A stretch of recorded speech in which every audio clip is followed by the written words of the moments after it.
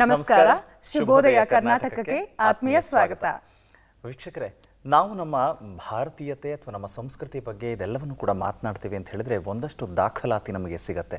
ಅಂದರೆ ಆ ದಾಖಲಾತಿ ಹೇಗೆ, ನಮ್ಮ ಇತಿಹಾಸದ ಪುಟಗಳನ್ನು ತಿರುವು ಹಾಕಿದಾಗ ಎಲ್ಲವೂ ಕೂಡ ನಮಗೆ ಅಂದರೆ ಕುಲಂಕಷವಾಗಿ ಸಿಗೋದಕ್ಕೆ ಸಾಧ್ಯ. ಹೇಗೆ ಅಂದರೆ ನಮ್ಮ ಪೂರ್ವಜರು ಅದನ್ನು ದಾಖಲು ಮಾಡಿದ್ದು ಅಂತಂದರೆ ಆರಂಭದಲ್ಲಿ ಮಣ್ಣಿನ ಮೇಲೆ ಬರೀತಾ ಇದ್ರಂತೆ.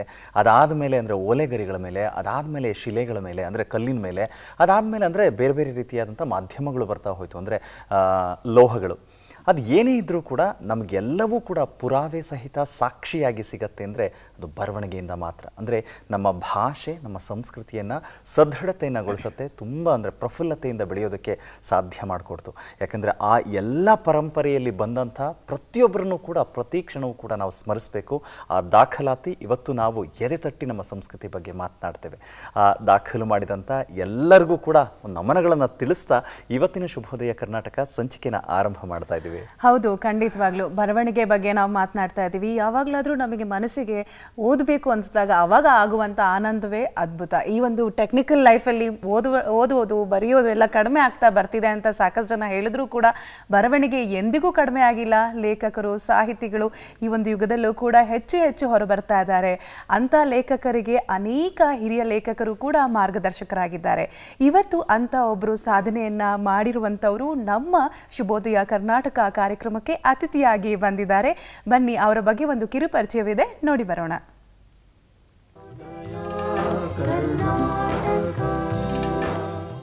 ನಾವು ಯಾವುದೇ ಭಾಷೆಯಲ್ಲಿ ವಿದ್ಯಾಭ್ಯಾಸ ಮಾಡಿದರೂ ಆಸಕ್ತಿಯೊಂದಿದ್ದರೆ ಹಲವು ಭಾಷೆಗಳನ್ನು ಕಲಿತು ಅದರಲ್ಲೇ ಕೃಷಿಯನ್ನು ಕೈಗೊಳ್ಳಬಹುದು. ಇದಕ್ಕೆ ಸಾಕ್ಷಿಯಂತಿದ್ದಾರೆ ಗೀತಾ ಬಿಯು ಅವರು. ಇವರು ಓದಿದ್ದು ಇಂಗ್ಲಿಷ್ ಮಾಧ್ಯಮದಲ್ಲಾದರೂ ಕನ್ನಡದೆರೆಗಿರುವ ಆಸಕ್ತಿ ಇವರನ್ನು ಕನ್ನಡದಲ್ಲೇ ಹಲವಾರು ಕೃತಿಗಳನ್ನು ರಚಿಸುವಂತೆ ಪ್ರೇರೇಪಿಸಿತು. ಬೆಂಗಳೂರಿನಲ್ಲೇ ಹುಟ್ಟಿ ಬೆಳೆದಂತಹ ಗೀತಾ ಅವರು ಓದಿದ್ದು ಕೂಡ ಬೆಂಗಳೂರಿನಲ್ಲೇ. ಇವರು ಬರೆದಂತಹ ಹಲವಾರು ಕೃತಿಗಳು, ಹಲವಾರು ವಾರಪತ್ರಿಕೆಗಳು, ದಿನಪತ್ರಿಕೆಗಳು ಮಾಸ ಪತ್ರಿಕೆಗಳಲ್ಲಿ ಪ್ರಕಟಗೊಂಡಿವೆ. ಸೋಲು ಗೆಲುವಿನ ಹಾದಿಯಲ್ಲಿ ಮರೀಚಿಕೆ, ಹೊಂಗೆಯ ನೆರಳು, ಆಗದಿರಲಿ ಬೆಳಕು ಮುಂತಾದ ಕಥಾ ಸಂಕಲನಗಳನ್ನು ಇಲ್ಲಿ ಹೆಸರಿಸಬಹುದಾಗಿದೆ. ಸಮಾಜದ ವಿವಿಧ ಸಮಸ್ಯೆಗಳೇ ಇವರಿಗೆ ಕಥಾವಸ್ತುಗಳು. ಒಂದು ಕಥೆ ಅಥವಾ ಕಾದಂಬರಿಗೆ ಇರಬೇಕಾದ ಮೂಲ ಗುಣ ಓದುಗರ ಗಮನವನ್ನು ಹಿಡಿದಿಟ್ಟುಕೊಳ್ಳುವುದು ಮತ್ತು ಅವರ ಅಂತಸ್ತತ್ವವನ್ನು ತಟ್ಟುವುದೇ ಆಗಿದೆ ಎಂಬುದು ಗೀತಾ ಅವರ ಅನಿಸಿಕೆ. ಇಷ್ಟೇ ಅಲ್ಲದೆ, ಪ್ರಸಿದ್ಧ ಟಿವಿ ಧಾರಾವಾಹಿಗಳಾದ ಮನ್ವಂತರ ಗುಪ್ತಗಾಮಿನಿ ಜಗಳಗಂಟಿಯರು ಮುಂತಾದವುಗಳಿಗೆ ಕಥೆ ಹಾಗೂ ಸಂಭಾಷಣೆ ಬರೆದ ಹೆಗ್ಗಳಿಕೆ ಗೀತಾ ಅವರದ್ದಾಗಿದೆ. ಹಲವು ಖಾಸಗಿ ಟಿವಿ ವಾಹಿನಿಗಳಿಗೆ ಕಾರ್ಯನಿರ್ವಹಿಸಿರುವಂತಹ ಗೀತಾ ಅವರು ಚಂದನ ವಾಹಿನಿಯಲ್ಲಿ ಈಗಾಗಲೇ ಹಲವಾರು ಸಂದರ್ಶನಗಳನ್ನು ನಡೆಸಿಕೊಟ್ಟಿದ್ದಾರೆ. ಶುಭೋದಯ ಕರ್ನಾಟಕದ ಇಂದಿನ ಅತಿಥಿಯಾಗಿರುವಂತಹ ಗೀತಾ ಅವರಿಗೆ ಸಂಪೂರ್ಣ ತಂಡದ ಪರವಾಗಿ ಆತ್ಮೀಯ ಸ್ವಾಗತ.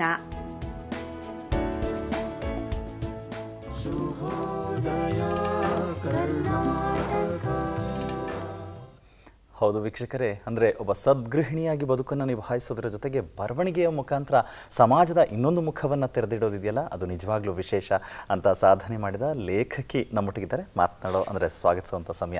ಮೇಡಮ್ ನಮಸ್ತೆ ಕಾರ್ಯಕ್ರಮಕ್ಕೆ ಸ್ವಾಗತ. ವಂದನೆಗಳು. ಹೆಸರಲ್ಲಿ ಗೀತಾ ಬಿ ಯು ಅಂದಾಗ ಸಡನ್ನಾಗಿ ಕೇಳಿದಾಗ ಬಿ ಒ ಅನ್ನಂಗೆ ಕೇಳಿಸ್ಬಿಡುತ್ತೆ. ಅಂದರೆ ಎಜುಕೇಷನಿಸ್ಟ್ನ ನಾವು ಕೇಳ್ತೀವಲ್ಲ ಹಾಗೆ. ಬಟ್ ನಂಗೆ ಅನ್ಸುತ್ತೆ ಬಿ ಯು ಅಂದಾಗ ಬ್ರೇವ್ ಆ್ಯಂಡ್ ಯುನಿಕ್. ಗೀತಾ ಅವರು ಅಂತ. ತುಂಬ ಖುಷಿ ಆಗತ್ತೆ ಮೇಡಮ್. ನಿಮ್ಮ ಈ ಮನೆಯ ಅಂಗಳಕ್ಕೆ ಬಂದಿದ್ದೀರಾ? ಹೇಗೆ ಅನಿಸ್ತಾ ಇದೆ? ತುಂಬ ಖುಷಿ ಆಗ್ತಾ ಇದೆ. ನನಗೆ ಬಿ ಯು ಹೇಳಿದ್ರಲ್ಲ? ಬಿ ಬೆಂಗಳೂರು.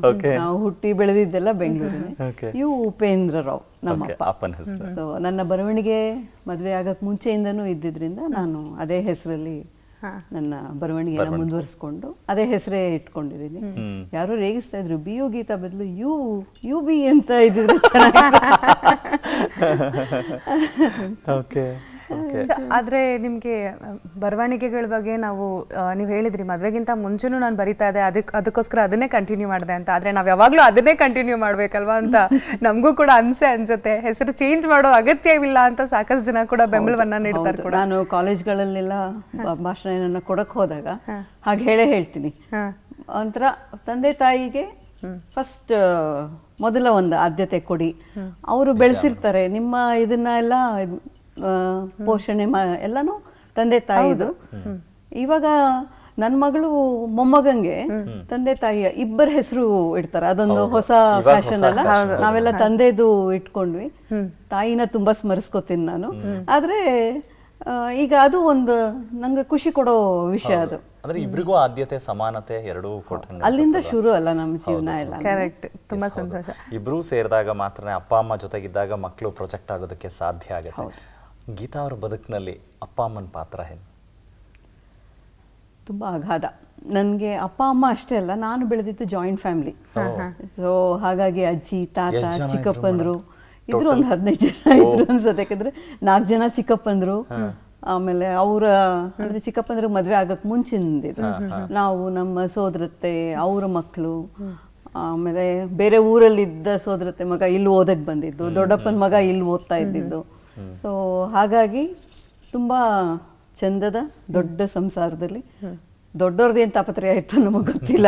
ನಾವಂತೂ ಆಟ ಆಡಿಕೊಂಡು ತುಂಬಾ ಖುಷಿಯಾಗಿ ಬೆಳೆದಿದ್ದು. ತಂದೆಯ ಒಡನಾಟ ಸ್ವಲ್ಪ ಕಮ್ಮಿ. ತಾಯಿ ಚಿಕ್ಕಪ್ಪಂದ್ರು ಅವ್ರಗಳದೇ ಜಾಸ್ತಿ. ತಂದೆ ದುಡಿಮೆನಲ್ಲಿ ಬ್ಯುಸಿ ಇದ್ದವರು. ಅವರು ಬ್ಯಾಂಕಲ್ಲಿ ಮ್ಯಾನೇಜರ್ ಆಗಿದ್ರು. ರಿಟೈರ್ ಆಗಿ ಈಗಿಲ್ಲ. ಹತ್ತು. ಇಪ್ಪತ್ತು ವರ್ಷ ಆಯಿತು ತಂದೆ ಹೋಗಿ. ಸೊ ಚಂದ ಇತ್ತು. ಅದು ಒಂಥರ ನಮಗೆ ಓದಲೇಬೇಕು ಅನ್ನೋ ಏನು ಖುಷಿ ಇರ್ಲಿಲ್ಲ? ಜ್ಞಾಪಿಸ್ಕೊಳ್ಬೇಕಂದ್ರೆ ನಾನು ಪಿ ಯು ಸಿಗೆ ಬಂದು ಕಾಲೇಜಲ್ಲಿ ಸೇರ್ಕೊಂಡಾದ್ಮೇಲೆ ಆರು ತಿಂಗಳಾದ್ಮೇಲೆ ನಮ್ಮ ತಂದೆ ಗೊತ್ತಾಯ್ತು ನಾನು ಆರ್ಟ್ಸ್ ತಗೊಂಡಿದ್ದು ಅಂತ. ಅವ್ರು ಅದುವರೆಗೂ ಎಲ್ಲರೂ ಸೈನ್ಸ್ ತಗೋಬೇಕು ಅನ್ನೋದು ನಮ್ಮ ತಂದೆ ಬಿ ಎಸ್ ಸಿ ಓದಬೇಕು ಬಿ ಎ ಅಷ್ಟು ಅವ್ರಿಗೆ ಸಮಾಧಾನ ಇರಲಿಲ್ಲ. ಅಯ್ಯೋ ನೀ ಆರ್ಟ್ಸ್ ತಗೊಂಡೆ. ಆರು ತಿಂಗಳಾದ್ಮೇಲೆ ಕೇಳ್ತಾ ಇದ್ದೀರಲ್ಲ ಅಣ್ಣ? ಅಂತ ಅಂದರೆ ಅಷ್ಟೊಂದು ಖುಷಿ ಇರಲಿಲ್ಲ ಆದ್ರೆ ಅವರ ಜೀವನ ರೀತಿನಲ್ಲಿ ಅವರು ಇನ್ನೊಬ್ಬರ ಬಗ್ಗೆ ಕಾಳಜಿ ತೋರಿಸೋದಾಗ್ಲಿ ಹೇಗಿತ್ತು ಒಂದು ಪ್ರೀತಿ ಒಂದು ಸಹನೆ ಅದೆಲ್ಲ ಹೇಗಿತ್ತು ಅನ್ನೋದ್ರ ಮೇಲೆ ನನ್ನ ಪರ್ಸನಾಲಿಟಿ ಡೆವಲಪ್ ಆಯ್ತು ಅಂತ ಹೇಳಬಲ್ಲೆ. ಓಕೆ ಸೊ ಅಮ್ಮ ಗೃಹಿಣಿ ಅಮ್ಮ ಗೃಹಿಣಿ ಅಮ್ಮ ಗೃಹಿಣಿ ತುಂಬಾ ಚಂದದ ಅಡುಗೆ ಮಾಡ್ತಾ ಇದ್ರು. ಅಂದ್ರೆ ತುಂಬಾ ಅಡಾಪ್ಟಬಲ್ ನಮ್ಮಮ್ಮ. ನಾನು ಒಂದು ಸೀರೀಸೇ ಬರ್ದಿದ್ದೀನಿ ಒಂದು ಇಪ್ಪತ್ತು ಆರ್ಟಿಕಲ್ ಬರೆದಿದ್ದೀನಿ ಅಮ್ಮನ ಬಗ್ಗೆ. ಅದು ಇನ್ನೊಂದು ಅಂದ್ರೆ ಚಿಕ್ಕ ಚಿಕ್ಕದು. ಅವರ ಸ್ವಭಾವ ತೋರಿಸುವಂಥದ್ದು ಆ ಥರದ್ದು ಇನ್ನೊಂದು ಐವತ್ತಾದ್ರೆ ಒಂದು ಪುಸ್ತಕ ತರಬಹುದು ಅಮ್ಮನ ಬಗ್ಗೆ ವಾ ತುಂಬಾ ಸಂತೋಷ. ಆದ್ರೆ ನಿಮಗೆ ಈ ಬರವಣಿಗೆ ಬಗ್ಗೆ ಅಥವಾ ಮುಂಚೆ ಓದೋದ್ರ ಬಗ್ಗೆ ಆಗಿರ್ಬೋದು ಯಾವಾಗಿಂದ ಇಂಟ್ರೆಸ್ಟ್ ಬಂತು ಅಂತ? ಅಂದ್ರೆ ಸಣ್ಣ ವಯಸ್ಸಿನಿಂದ ಬರ್ತಿತ್ತಾ ಅಥವಾ ಹೇಗೆ? ಹೌದು ಸಣ್ಣ ವಯಸ್ಸಿಂದನೇ. ಓದೋದು ಮಾತ್ರನೂ ನಮ್ಗೆಲ್ಲಾನು ಅವಾಗ ಮನೆಗೆ ಬರೋದಲ್ಲ ಸುಧಾ ಮಯೂರ ಅದೊಂಥರ ಕಂಪಲ್ಷನ್ ಇತ್ತು ನ್ಯೂಸ್ ಪೇಪರ್ ಜೊತೆಗೆ ವಾರದಲ್ಲಿ ಬರಬೇಕು. ಆಮೇಲೆ ತರಂಗ ಎಲ್ಲ ಪತ್ರಿಕೆಗಳು ಮನೆಗೆ ಬರ್ತಾ ಇತ್ತು. ಆಗ ಓದೋ ಅಭ್ಯಾಸ ನಮ್ಮಮ್ಮ ಎಲ್ಲ ಹೇಳೋರು ಬಾಲ ಜಗತ್ತು ಏನೋ ಇರೋದಲ್ಲ ಅದ್ ಮಾತ್ರ ಓದ್ಬೇಕು. ಕತೆ ಎಲ್ಲಾನು ಚಿಕ್ಕ ಮಕ್ಕಳು ಓದ್ಬಾರ್ದು ಅಂತ. ಬಟ್ ಆ ಥರ ಕಣ್ಣಲ್ಲಿ ಕಣ್ಣಿಟ್ಟು ನಮ್ಮನ್ನ ನೋಡ್ಕೊಳ್ಳೋಕೆ ಏನಾಗ್ತಿರ್ಲಿಲ್ಲ ನಾವು ಓದ್ತಾ ಇದ್ವಿ. ಮೊದಲು ಓದಿದ್ದಂತೂ ಇವತ್ತಿಗೂ ಜ್ಞಾಪಕ ಇದೆ ಕಲ್ಲು ಬೊಂಬೆ ಕರಗಿತು ಅಂತ ಒಂದು ಧಾರಾವಾಹಿ. ಹತ್ತು ಹತ್ತು ಹತ್ತು ಓದ್ತಾ ಇದ್ದೆ ಅದನ್ನ. ಅಳೋದು ಅದೇನೋ ನಾಯಕಿಗೆ ಬರಬಾರದ ಕಷ್ಟ ಎಲ್ಲ ಬಂದಿರುತ್ತೆ. ಓಕೆ. ಸೊ ಅವಾಗ ಒಂಥರ ಅದೇನಂದ್ರೆ ನಾನು ಯಾವುದೇ ವಿಷಯ ಆಗ್ಲಿ ಅದನ್ನ ಪಾಸಿಟಿವ್ ಆಗಿ ಬೇಕಾದ್ರೆ ತಗೋಬಹುದು ನೆಗೆಟಿವ್ ಆಗಿ ಬೇಕಾದ್ರೂ ತಗೋಬಹುದು ಅನ್ನೋದಕ್ಕೆ ಆ ಕಾದಂಬರಿ ಓದಿದಾಗ ನೆಗೆಟಿವ್ ಆಗು ತಗೋಬಹುದು ಎಲ್ಲ ಕಷ್ಟ ನಾಯಕಿಗೆ ಎಲ್ಲ ಗೋಳು ಹೆಣ್ಮಕ್ಳು ಅಂದ್ರೆ ಹಾಗೆ ಅಂತೆಲ್ಲಾನುವೆ. ಪಾಸಿಟಿವ್ ಆಗಿ ತಗೊಳ್ಳೋದು ಅಂದ್ರೆ ಹಾಗೆ ಯಾಕೆ ಆಗ್ಬೇಕು? ಬೇರೆ ತರ ಯಾಕೆ ಇರಬಾರ್ದು ಅನ್ನೋದೊಂದು ತಗೊಳ್ಳೋದಿದೆಯಲ್ಲ ಸ್ಟ್ಯಾಂಡ್ ಅದು ನನ್ನ ಪ್ರಕಾರ ನಾನು ಐದನೇ ಕ್ಲಾಸ್ ಆರನೇ ಕ್ಲಾಸ್ ಓದ್ತಾ ಇದ್ದಾಗ ಓದಿದ ಕಾದಂಬರಿ ಅದು. ಅವಾಗ ಈ ನಾಯಕಿ ಹೀಗೆ ಯೋಚನೆ ಮಾಡಬಾರ್ದಿತ್ತು ಇವಳು ಹೀಗೆ ಮಾಡ್ಬೇಕಿತ್ತು ಅನ್ನೋ ಒಂದು ಥಾಟ್ ಬರುತ್ತಲ್ಲ ಅದು ನನ್ನ ಬರವಣಿಗೆಗೆ ಮೂಲ ಅಂತ ಅನ್ಸುತ್ತೆ ಆ ಥರ ಥಾಟ್ ಯಾವ್ದನ್ನ ನೋಡಿದಾಗ ಹೀಗಲ್ಲ ಹಾಗಿರ್ಬೇಕು ಅನ್ನೋದು ಅಂದ್ರೆ ಇನ್ನೂ ಒಂದು ದೃಷ್ಟಿಕೋನವನ್ನ ಆಲೋಚನೆ ಮಾಡುವಂಥದ್ದು ಅಂತ. ಹೌದು. ಪ್ರತಿಯೊಬ್ಬರು ಅಂದ್ರೆ ಬರವಣಿಗೆ ಅಥವಾ ಓದೋದಿರ್ಬೋದು ಯಾವುದನ್ನೇ ಸ್ವೀಕರಿಸಬೇಕಾದ್ರೆ ಅದು ನಮ್ಮ ಮನೋಧರ್ಮ ಇರುತ್ತೆ. ಅದ್ರ ಜೊತೆಗೆ ಅಕಸ್ಮಾತ್ ನಾವು ವಾಪಸ್ ಅದನ್ನು ಕೊಡ್ತೀವಿ ಸಮಾಜಕ್ಕೆ ಅಂತ ಹೇಳಿದಾಗ ನಾವು ಸಮಾಜದ ಬೇರೆ ದೃಷ್ಟಿಗಳನ್ನು ಯೋಚನೆ ಮಾಡಬೇಕು ಅಂತ ನಿಮ್ಮಂಥವರೆಲ್ಲ ಹೇಳ್ತಾನೆ ಇರ್ತಾರೆ. ನಿಮ್ಮ ಬರವಣಿಗೆಯ ಆಸಕ್ತಿ ಹೀಗಿತ್ತು ಬಾಲ್ಯದಲ್ಲಿ ಅನ್ನೋದಾದ್ರೆ ಒಂದು ದಾಖಲಾತಿಯಾಗಿ ನೀವು ಬರೆದದ್ದನ್ನು ಯಾರೋ ನೋಡಿದ್ರೋ ಅಥವಾ ಪ್ರಿಂಟ್ ಆಗಿ ಬಂತು ಅನ್ನೋ ನೆನಪು ಯಾವುದು ಮೇಡಮ್? ಇದು ನನಗೆ ಎಷ್ಟು ಸತಿ ಹೇಳಿದ್ರು ನನಗೆ ಖುಷಿನೇ ಖಂಡಿತ. ಯಾಕೆಂದ್ರೆ ಸುಧಾದಲ್ಲಿ ಆ, ಯುಗಾದಿ ವಿಶೇಷಾಂಕದಲ್ಲಿ. ಬಹುಮಾನಿತ ಕಥೆಯಾಗಿ ನನ್ನ ಮೊದಲ ಕತೆ ಪ್ರಕಟ ಆಗಿದ್ದು ಹಂಗೆ. ಅದು ಕಳಿಸಿದ್ದೆ. ಅದು ಕಾಲೇಜಲ್ಲಿ ಒಂಥರ ಸ್ಟೂಡೆಂಟ್ ಅನ್ನೋ ಇದು ಕೂಡ ಬೇಕಿತ್ತು ಅವ್ರಿಗೆ. ಸೊ ನಮ್ಮ ಪ್ರಿನ್ಸಿಪಾಲ್ ಅವ್ರ ಹತ್ರ ಬರೆಸ್ಕೊಂಡು ಎಲ್ಲ ಕಳ್ಸಿದ್ದೆ. ಅವ್ರು ಏನಮ್ಮ ಓದ್ತಾ ಇಲ್ವಾ? ಕತೆ ಎಲ್ಲ ಓದ್ಕೊಂಡು ಮಾಡಬೇಡ ಸ್ವಲ್ಪ ಎಜುಕೇಶನ್ ಮೇಲೆ ಕಾನ್ಸಂಟ್ರೇಟ್ ಮಾಡು ಅಂದ್ರು ಹ್ಞೂ ಸರ್ ಅಂತ ಹೇಳ್ಬಿಟ್ಟು ಕಳಿಸಿದ್ದೆ. ನಮ್ಮ ಅಪ್ಪ ಅಮ್ಮ ಈ ಊರಲ್ಲಿ ಇರಲಿಲ್ಲ. ಅವರು ಚನ್ನರಾಯಪಟ್ಟಣದಲ್ಲಿದ್ದರು ಕೆಲಸದಲ್ಲಿದ್ದರು ಇಲ್ಲಿ ನ್ಯಾಷನಲ್ ಕಾಲೇಜ್ ಓದಿದ್ದು. ಆಗ ಬಂತು ಸುಧಾ ವಿಶೇಷಾಂಕ. ತೆಗೆದು ನೋಡಿದೆ ನನ್ನ ಕತೆ ಬಂದಿತ್ತು. ಅವಾಗೆಲ್ಲ ಏನಂದ್ರೆ ಮುಂಚೆ ಹೇಳಿರಲಿಲ್ಲ. ನನ್ನ ಕತೆಗೆ ಬಹುಮಾನ ಬಂದಿದೆ ಆ ಥರದ್ದೇನೂ ಇರ್ಲಿಲ್ಲ. ಪತ್ರಿಕೆ ತೆಗೆದಾಗ ಅದು ಜಿ ಕೆ ಸತ್ಯ ಅವ್ರ ಮುಖಪುಟ ಬೇರೆ ಒಂಥರ ವೆರಿ ಇಂಪ್ರೆಸಿವ್ ಆಗಿತ್ತು. ತುಂಬಾ ಖುಷಿ ಆಗೋಯ್ತು. ಅವಾಗ ಟ್ರಂಕ್ ಕಾಲ್ ಮಾಡಿ ನಮ್ಮ ಅಪ್ಪ ಅಮ್ಮಂಗೆ ಹೇಳ್ಬೇಕಂತ. ಮನೇಲಿ ಫೋನ್ ಇರ್ಲಿಲ್ಲ. ಕೆಳಗಡೆ ಮನೆಯಲ್ಲಿ ಫೋನ್ ಇತ್ತು ಟ್ರಂಕ್ ಕಾಲ್ ಬುಕ್ ಮಾಡಿದ್ದಾಯ್ತು.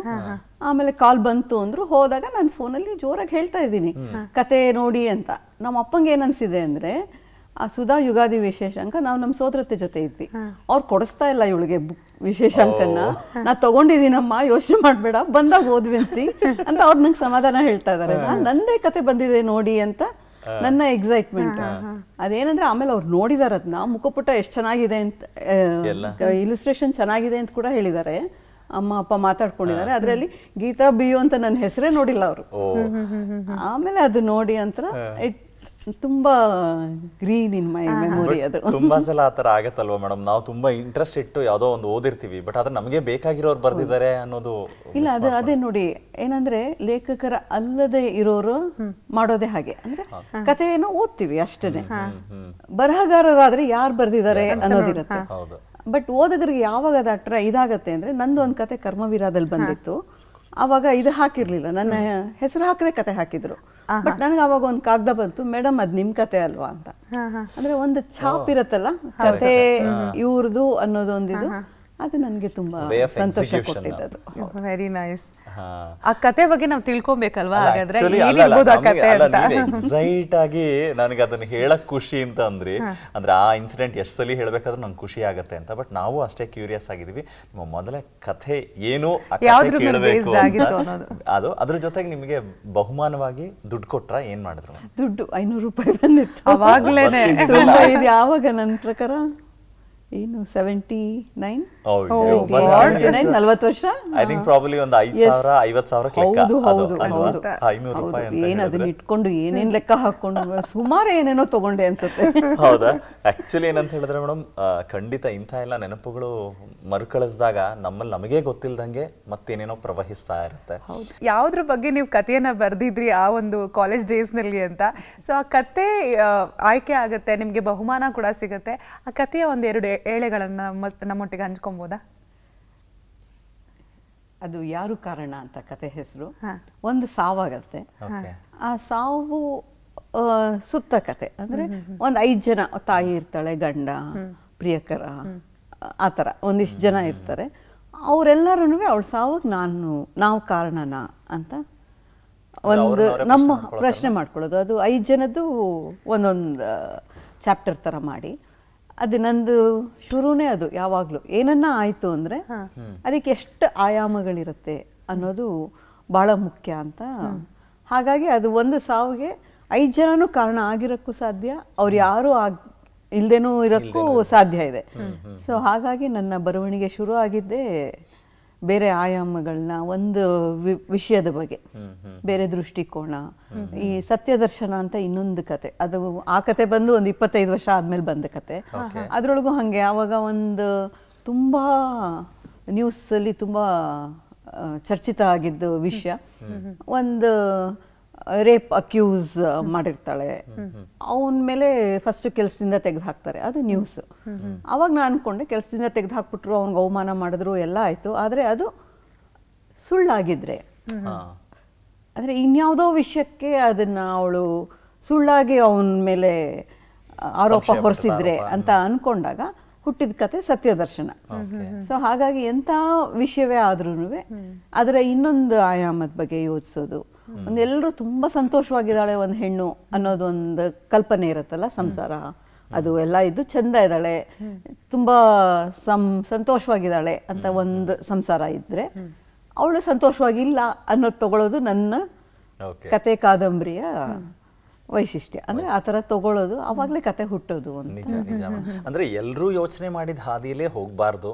ಅದಕ್ಕೆ ಬೇರೆನೂ ದೃಷ್ಟಿಕೋನ ಇದೆ ಬೇರೆನೂ ಆಯಾಮ ಇದೆ. ಸಮಾಜಕ್ಕೆ ಅಲ್ಲಿಂದ ಬೇರೆ ಏನೋ ತಿಳಿಸ್ಬೋದು ಅನ್ನುವಂಥ ನಿಜ ಅದ್ಭುತವಾದಂಥ ಆಲೋಚನೆ ಮೇಡಮ್ ಆದರೆ ಆ ಸಾವೇ ಅನ್ನೋದಕ್ಕೆ ಇನ್ಸ್ಪೈರ್ ಆಗೋದಕ್ಕೆ ಕಥೆ ಬರೆಯೋದಕ್ಕೆ ನಿಮ್ಗೆ ಏನಾದರೂ ಸುತ್ತಮುತ್ತ ರಿಯಲ್ ಇನ್ಸಿಡೆಂಟ್ ಏನಾದರೂ ನಡೆದಿತ್ತಾ? ಹಂಗೇನಿಲ್ಲ. ಕಾಲ್ಪನಿಕವಾಗೇನೆ. ಕಾಲ್ಪನಿಕ. ನೀವು ಕತೆಗಳನ್ನ ರಚಿಸ್ಬೇಕಂದ್ರೆ ಅಥವಾ ಬಹುಶಃ ಯಾರಾದ್ರೂ ಲೇಖಕರು ಕಥೆಯನ್ನ ರಚಿಸ್ಬೇಕಾದ್ರೆ ಆ ಕತೆ ಹುಟ್ಟುವಂತ ಕ್ಷಣದ ಬಗ್ಗೆ ನಾವು ಯೋಚನೆ ಮಾಡ್ತಾ ಇರ್ತೀವಿ. ನೀವು ಸ್ವಯಂ ಕಥೆಯನ್ನ ಬರಿಬೇಕಂದ್ರೆ ಯಾವಾಗ ಪ್ರಾರಂಭ ಮಾಡ್ತೀರಾ? ಯಾವ ರೀತಿ ಇರುತ್ತೆ? ಅಥವಾ ಆ, ನಿಮ್ಗೆ ಯಾವ ತರ ಆಲೋಚನೆಗಳು ಬರುತ್ತೆ? ಕತೆ ಹುಟ್ಟುವ ಕ್ಷಣದ ಬಗ್ಗೆ ಹೇಳಿ.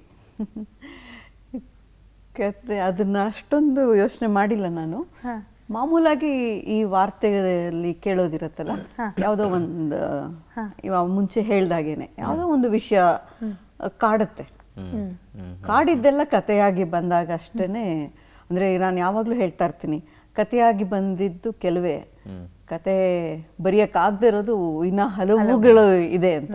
ಯಾಕೆಂದ್ರೆ ತುಂಬಾ ಹತ್ತಿರದವ್ರು ಇರ್ತಾರೆ. ಇನ್ನ ಒಂದು ಯಾರನ್ನೂ ತಂದು ನಿಲ್ಸಕ್ಕಾಗಲ್ಲ ಅಲ್ಲ? ಒಂದು ಕಟಕಟೆಯಲ್ಲಿ ನಿಲ್ಸೋದಕ್ಕೆ ನಾನು I have no right so ಹಾಗಾಗಿ ಕತೆ ಆಗದೆ ಇರೋದೇ ಬೇಕಾದಷ್ಟಿದೆ. ಕತೆ ಆಗಿದ್ದೆಲ್ಲ ಕಾಡಿದ್ದೇ ಕತೆ ಆಗೋದು. ಯಾವುದೇ ವಿಷಯ ಆಗಲಿ. ಅದು ಕಾಡದ್ದೇ ಕತೆ ಸುಲಭ. ಕತೆ ಒಂದು ಗುಕ್ಕಿನಲ್ಲಿ ಬರೆದು ಬಿಡ್ಬೋದು ಕತೆನ. ಕಾದಂಬರಿ ಕಷ್ಟ. ಕಷ್ಟ. ಬಟ್ ಕಾದಂಬರಿ ಕೊಡೋ ಖುಷಿನೇ ಬೇರೆ. ಬೇರೆ ಹೌದು. ಹಾಗಾಗಿ ಈಗ ಬರವಣಿಗೆ ಅಂದಿದ ತಕ್ಷಣ ನಿಮಗೆ ಹೇಗೆ ಮನೆಯ ಮೊದಲ ಪಾಠ ಶಾಲೆ ಅನ್ನೋ ರೀತಿಯಲ್ಲಿ ಅಂದರೆ ಅಮ್ಮನೋ, ಅಪ್ಪನೋ ಹೇಳ್ಕೊಟ್ಟದ್ದು ಒಂದಷ್ಟು ವಿಚಾರಗಳನ್ನು ತಿಳ್ಕೊಂಡು ನಾವು ಮುಂದೆ ಮುಂದೆ ಬೆಳಿತೀವಿ ಮತ್ತು ಗುರುಗಳು ಸಿಗ್ತಾರೆ, ಶೈಕ್ಷಣಿಕವಾಗಿ ಕಲಿಯೋದು ಅಂತ. ಈ ರೀತಿ ಬರವಣಿಗೆ ಅಂತ ಹೇಳಿದಾಗ ಒಂದಷ್ಟು ಪುಸ್ತಕಗಳನ್ನು ನೀವು ಓದ್ತಾ ಇದ್ರಿ ಅಂತ ಹೇಳಿದ್ರಿ. ನಿಮಗೆ ಅಂದರೆ ಹೀಗಿರಬೇಕು, ಅಂದರೆ ಒಂದು ಕವನ ಬರೆದ್ರೆ ಆ ಕವನ ಹೀಗೆ ಬರಿಬೇಕು ಅನ್ನೋ ಒಂದು ಮಾನದಂಡಗಳಿದೆ.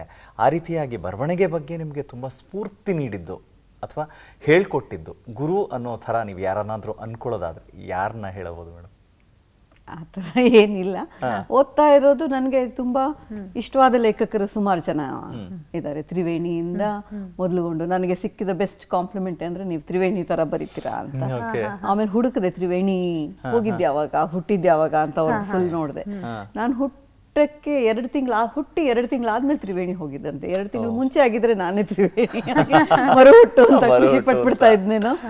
ಸೊ ಅದೊಂಥರ ತ್ರಿವೇಣಿ ತುಂಬಾ ಕಾಡಿದ ಲೇಖಕಿ. ಸುಮಾರು ಎಲ್ಲ ಕತೆಗಳನ್ನೂ ಓದಿದ್ದೀನಿ. ನನಗೆ ಕತೆ ಕಾದಂಬರಿಗಳನ್ನ ಓದೋ ಹುಚ್ಚು. ಅದು ತುಂಬಾ ಚಿಕ್ಕಂದಿಂದ ಬೆಳೆಸ್ಕೊಂಡು ಬಂದಿರೋದು. ಎಲ್ಲ ಲೈಬ್ರರಿಗೂ ಅಮ್ಮಂಗೆ ಪುಸ್ತಕ ತಂದು ಕೊಡ್ತಾ ಇದ್ವಿ ಲೈಬ್ರರಿಯಿಂದ. ನಾವು ಹಾಗೆ ಓದ್ತಾ ಇದ್ದಿದ್ದು. ಓದ್ತಾ ಇದ್ದಿದ್ದೇನೆ ಗುರು ಅಂತ ಅನ್ಕೋಬಹುದು ಅಷ್ಟೇನೆ. ಓದಿದ್ದೇನೆ ನಾನು ಇನ್ನೊಂಥರ ಬರೆಯೋದ್ರ ಬಗ್ಗೆ. ಯಾಕೆಂದ್ರೆ ನಾನು ಲಿಟ್ರೇಚರ್ ಓದಿಲ್ದೇ ಇರೋದ್ರಿಂದ. ಆ ಥರ ಒಂದು ಸರಿಯಾಗಿ ಒಬ್ಬರು ಗುರು ಅಂತ ಯಾರು ಸಿಕ್ಕಿಲ್ಲ ನನಗೆ. ನಾನು ಸುಮ್ಮನೆ ನನ್ನ ಪಾಡ್ ನಾನು ಓದಿದ್ದು ಓದಿದ್ದು ಬರ್ದಿದ್ದು ಬರ್ದಿದ್ದು ಅಷ್ಟೇ. ಲೈಫ್ ಇಟ್ ಸೆಲ್ಫ್ ಟೀಚರ್ ಅಷ್ಟೇ. Yes very good very well said ಅಂದ್ರೆ ನೀವು ತಂದೆಯವರಿಗೆ ಬಿ- ನೀವು ಬಿ ಎಸ್ ಸಿ ತಗೊಳ್ಬೇಕು ಸೈನ್ಸ್ ತಗೊಳ್ಬೇಕು ಅಂತ ಆಸಕ್ತಿ ಆದ್ರೆ ನಿಮ್ಗೆ ಆರ್ಟ್ಸ್ ಮೇಲೆ ಒಲವಿತ್ತು. ಸೊ ಆರ್ಟ್ಸ್ ಸಬ್ಜೆಕ್ಟ್ನ ಆಯ್ಕೆ ಮಾಡ್ಕೊಂಡಿದ್ರೆ ಹಿಂದೆ ಏನಾದರೂ ರೀಸನ್ ಇತ್ತಾ? ಅಥವಾ ನಿಮ್ಮ ಅಂದರೆ ಅಂದ್ರೆ ನೀವು ಶಾಲಾ ದಿನಗಳಿಂದನೇ ಬರವಣಿಗೆಗೆ ಓದೋದಕ್ಕೆ ತುಂಬಾ ಇಷ್ಟಪಡ್ತಾ ಇದ್ರಿ ಅಲ್ವಾ? ಸೊ ಅದಕ್ಕೆ ಏನಾದರೂ ಸ್ಫೂರ್ತಿ ಆಯ್ತಾ? ಇಲ್ಲ ಹಂಗಲ್ಲ. ಅದೇನಂದ್ರೆ ಮ್ಯಾಥ್ಸ್ ನನಗೆ ಕಷ್ಟ ಇತ್ತು. ಸೊ ಆರ್ಟ್ಸ್ ತಗೊಂಡ್ರೆ ಮ್ಯಾಥ್ಸ್ ಇರಲ್ಲ ಅಂತ ತಗೊಂಡೆ. ಬಟ್ ಇಕನಾಮಿಕ್ಸ್ ಬಂದು ಮ್ಯಾಥ್ಸ್ ಇತ್ತು. ಏನೂ ಮಾಡೋಕ್ಕಾಗಲಿಲ್ಲ. ನನಗೆ ಫಸ್ಟ್ ಕ್ಲಾಸ್ ಜ್ಞಾಪಕ ಇದೆ ಸೋಷಿಯಾಲಜಿ ಸೈಕಾಲಜಿ ಆ ಥರ ಸಬ್ಜೆಕ್ಟ್ ಇತ್ತು. ನಮ್ಮ ಸೋಷಿಯಾಲಜಿ ಲೆಕ್ಚರರು ಪಾಪ ಏನೋ ಮಕ್ಕಳು ಚೆನ್ನಾಗಿ ಹೇಳ್ತಾರೆ. ಏನೋ ಫಸ್ಟ್ ಪಿ ಯು ಸಿ ಅಲ್ಲ. ಸೊ ಯಾತಿಗೆ ತಗೊಂಡ್ರಿ? ಸೋಷಿಯಾಲಜಿ ಯಾಕೆ ತಗೊಂಡ್ರಿ? ಹೇಳಿ ಅಂತ. ಯಾರು ಉತ್ತರ ಕೊಡ್ಲೇ ಇಲ್ಲ. ನನಗೆ ಕೊಯ್ಟ ಏನು ಯಾರು ಏನು ಹೇಳಲ್ವಾ ಅಂತ ಒಂಥರ ಒಂದು ಉಡಾಫಿಯಾಗಿ ಬೈಯೋ ಥರ ಕೇಳಿದ್ರು. ನಾನು ಅವಾಗ ನಮಗೆ ಸೋಷಿಯಾಲಜಿ ಬಗ್ಗೆ ಏನೂ ಗೊತ್ತಿಲ್ಲ. ಯಾಕೆಂದ್ರೆ ನಮಗೆ ಟೆಂತ್ ಸ್ಟ್ಯಾಂಡರ್ಡ್ವರೆಗೂ ಸೈನ್ಸ್ ಸೋಷಿಯಲ್ ಸ್ಟಡೀಸ್ ಅಂತ ಓದಿರ್ತೀವಿ. ಸೋಷಿಯಲ್ ಸ್ಟಡೀಸ್ ಅಲ್ಲಿ ಹಿಸ್ಟ್ರಿ ಸಿವಿಕ್ಸ್ ಜಾಗ್ರಫಿ ಓದಿರ್ತೀವಾಗ್ಲಿ ಸೋಷಿಯಾಲಜಿ ಏನು ಅದೊಂದು ಹೊಸ ಸಬ್ಜೆಕ್ಟ್ ನಮಗೆ ಗೊತ್ತೇ ಇಲ್ಲ. ಚೆನ್ನಾಗಿರ್ಬೋದು ಅಂತ ತಗೊಂಡಿದೀವಿ. ಅದನ್ನ ಚೆನ್ನಾಗಿ ಮಾಡೋದು ನಿಮ್ಮ ಕೈಲಿದೆ ಅಂತ ಹೇಳ್ಬಿಟ್ಟು ಅವ್ರಿಗೆ. ಸೊ ಅವರು ನನ್ನ degree ಮುಗಿಯೋವರೆಗೂ I I making it interesting to you ಅಂತ ಕೇಳಿಕ್ಕೆ Okay. ಪಾಠ ಮಾಡಿ ನನ್ನ ಸೊ ಹಾಗಾಗಿ ಅವ್ರಿಗೂ ನನಗೆ ನನ್ನ ಜ್ಞಾಪಿಸ್ಕೋತಾರೆ ಯಾವಾಗ್ಲೂ ಅಂತ ಸೊ ಹಾಗಾಗಿ ಆರ್ಟ್ಸ್ ತಗೊಂಡಿದ್ದು ಅದಕ್ಕೆ ಬಟ್ ನಮ್ಮಪ್ಪ ತಿರ್ಗಾ ಹಿ ಕೇಮ್ ಬ್ಯಾಕ್. ಆರ್ಟ್ಸ್ ತಗೊಂಡ್ರು ಪರವಾಗಿಲ್ಲ ಎಲ್ ಎಲ್ ಬಿ ಮಾಡಿ ಲಾಯರ್ ಆಗು ನೀನು ಯಾಕೆಂದ್ರೆ ವಿಪರೀತ ಮಾತಾಡ್ತೀಯ ನೀನು. ಸೊ ಲಾಯರ್ ಆಗು ಎಲ್ಲದಕ್ಕೂ ಜಗಳ ಆಡ್ತೀಯ ಬೇರೆ ಮನೆಯಲ್ಲಿ ಲಾಯರ್ ಅಂತಂದ್ರು. ಸರಿ ಡಿಗ್ರಿ ಮುಗಿಸೋ ಹೊತ್ತಿಗೆ ಎಲ್ ಎಲ್ ಬಿದು ಇಂಟ್ರೆಸ್ಟ್ ಇರಲಿಲ್ಲ. ಅವಾಗ ಬರವಣಿಗೆ ಸ್ವಲ್ಪ ಆಗ್ಲೇ ಸೇರ್ಕೊಂಡು ಬರಿತಾ ಇದ್ದೆ. ಹಾಗಾಗಿ ಜರ್ನಲಿಸಮ್ ಓದ್ದೆ ನಾನು.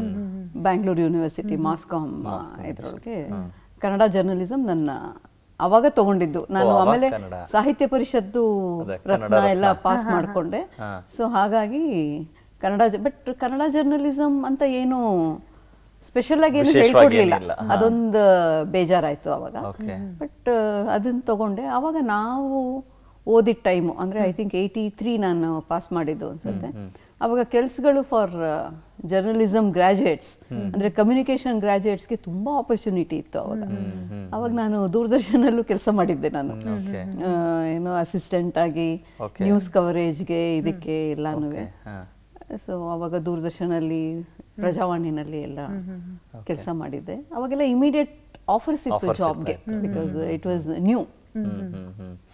ಅಂದ್ರೆ ತುಂಬಾ ಜನ ಇದಕ್ಕೆ ಬರ್ತಾ ಇರ್ಲಿಲ್ವಲ್ಲ ಮೇಡಮ್? ಹಾಗಾಗಿ ಮತ್ತೆ ಅವಶ್ಯಕತೆಗಳು ಆಮೇಲೆ ಒಬ್ಬ ಹೆಣ್ಮಗಳು ಇಂಥ ಕೆಲ್ಸಕ್ಕೆ ಬರ್ತಾರೆ ಅಂತ ಅಂದಾಗ.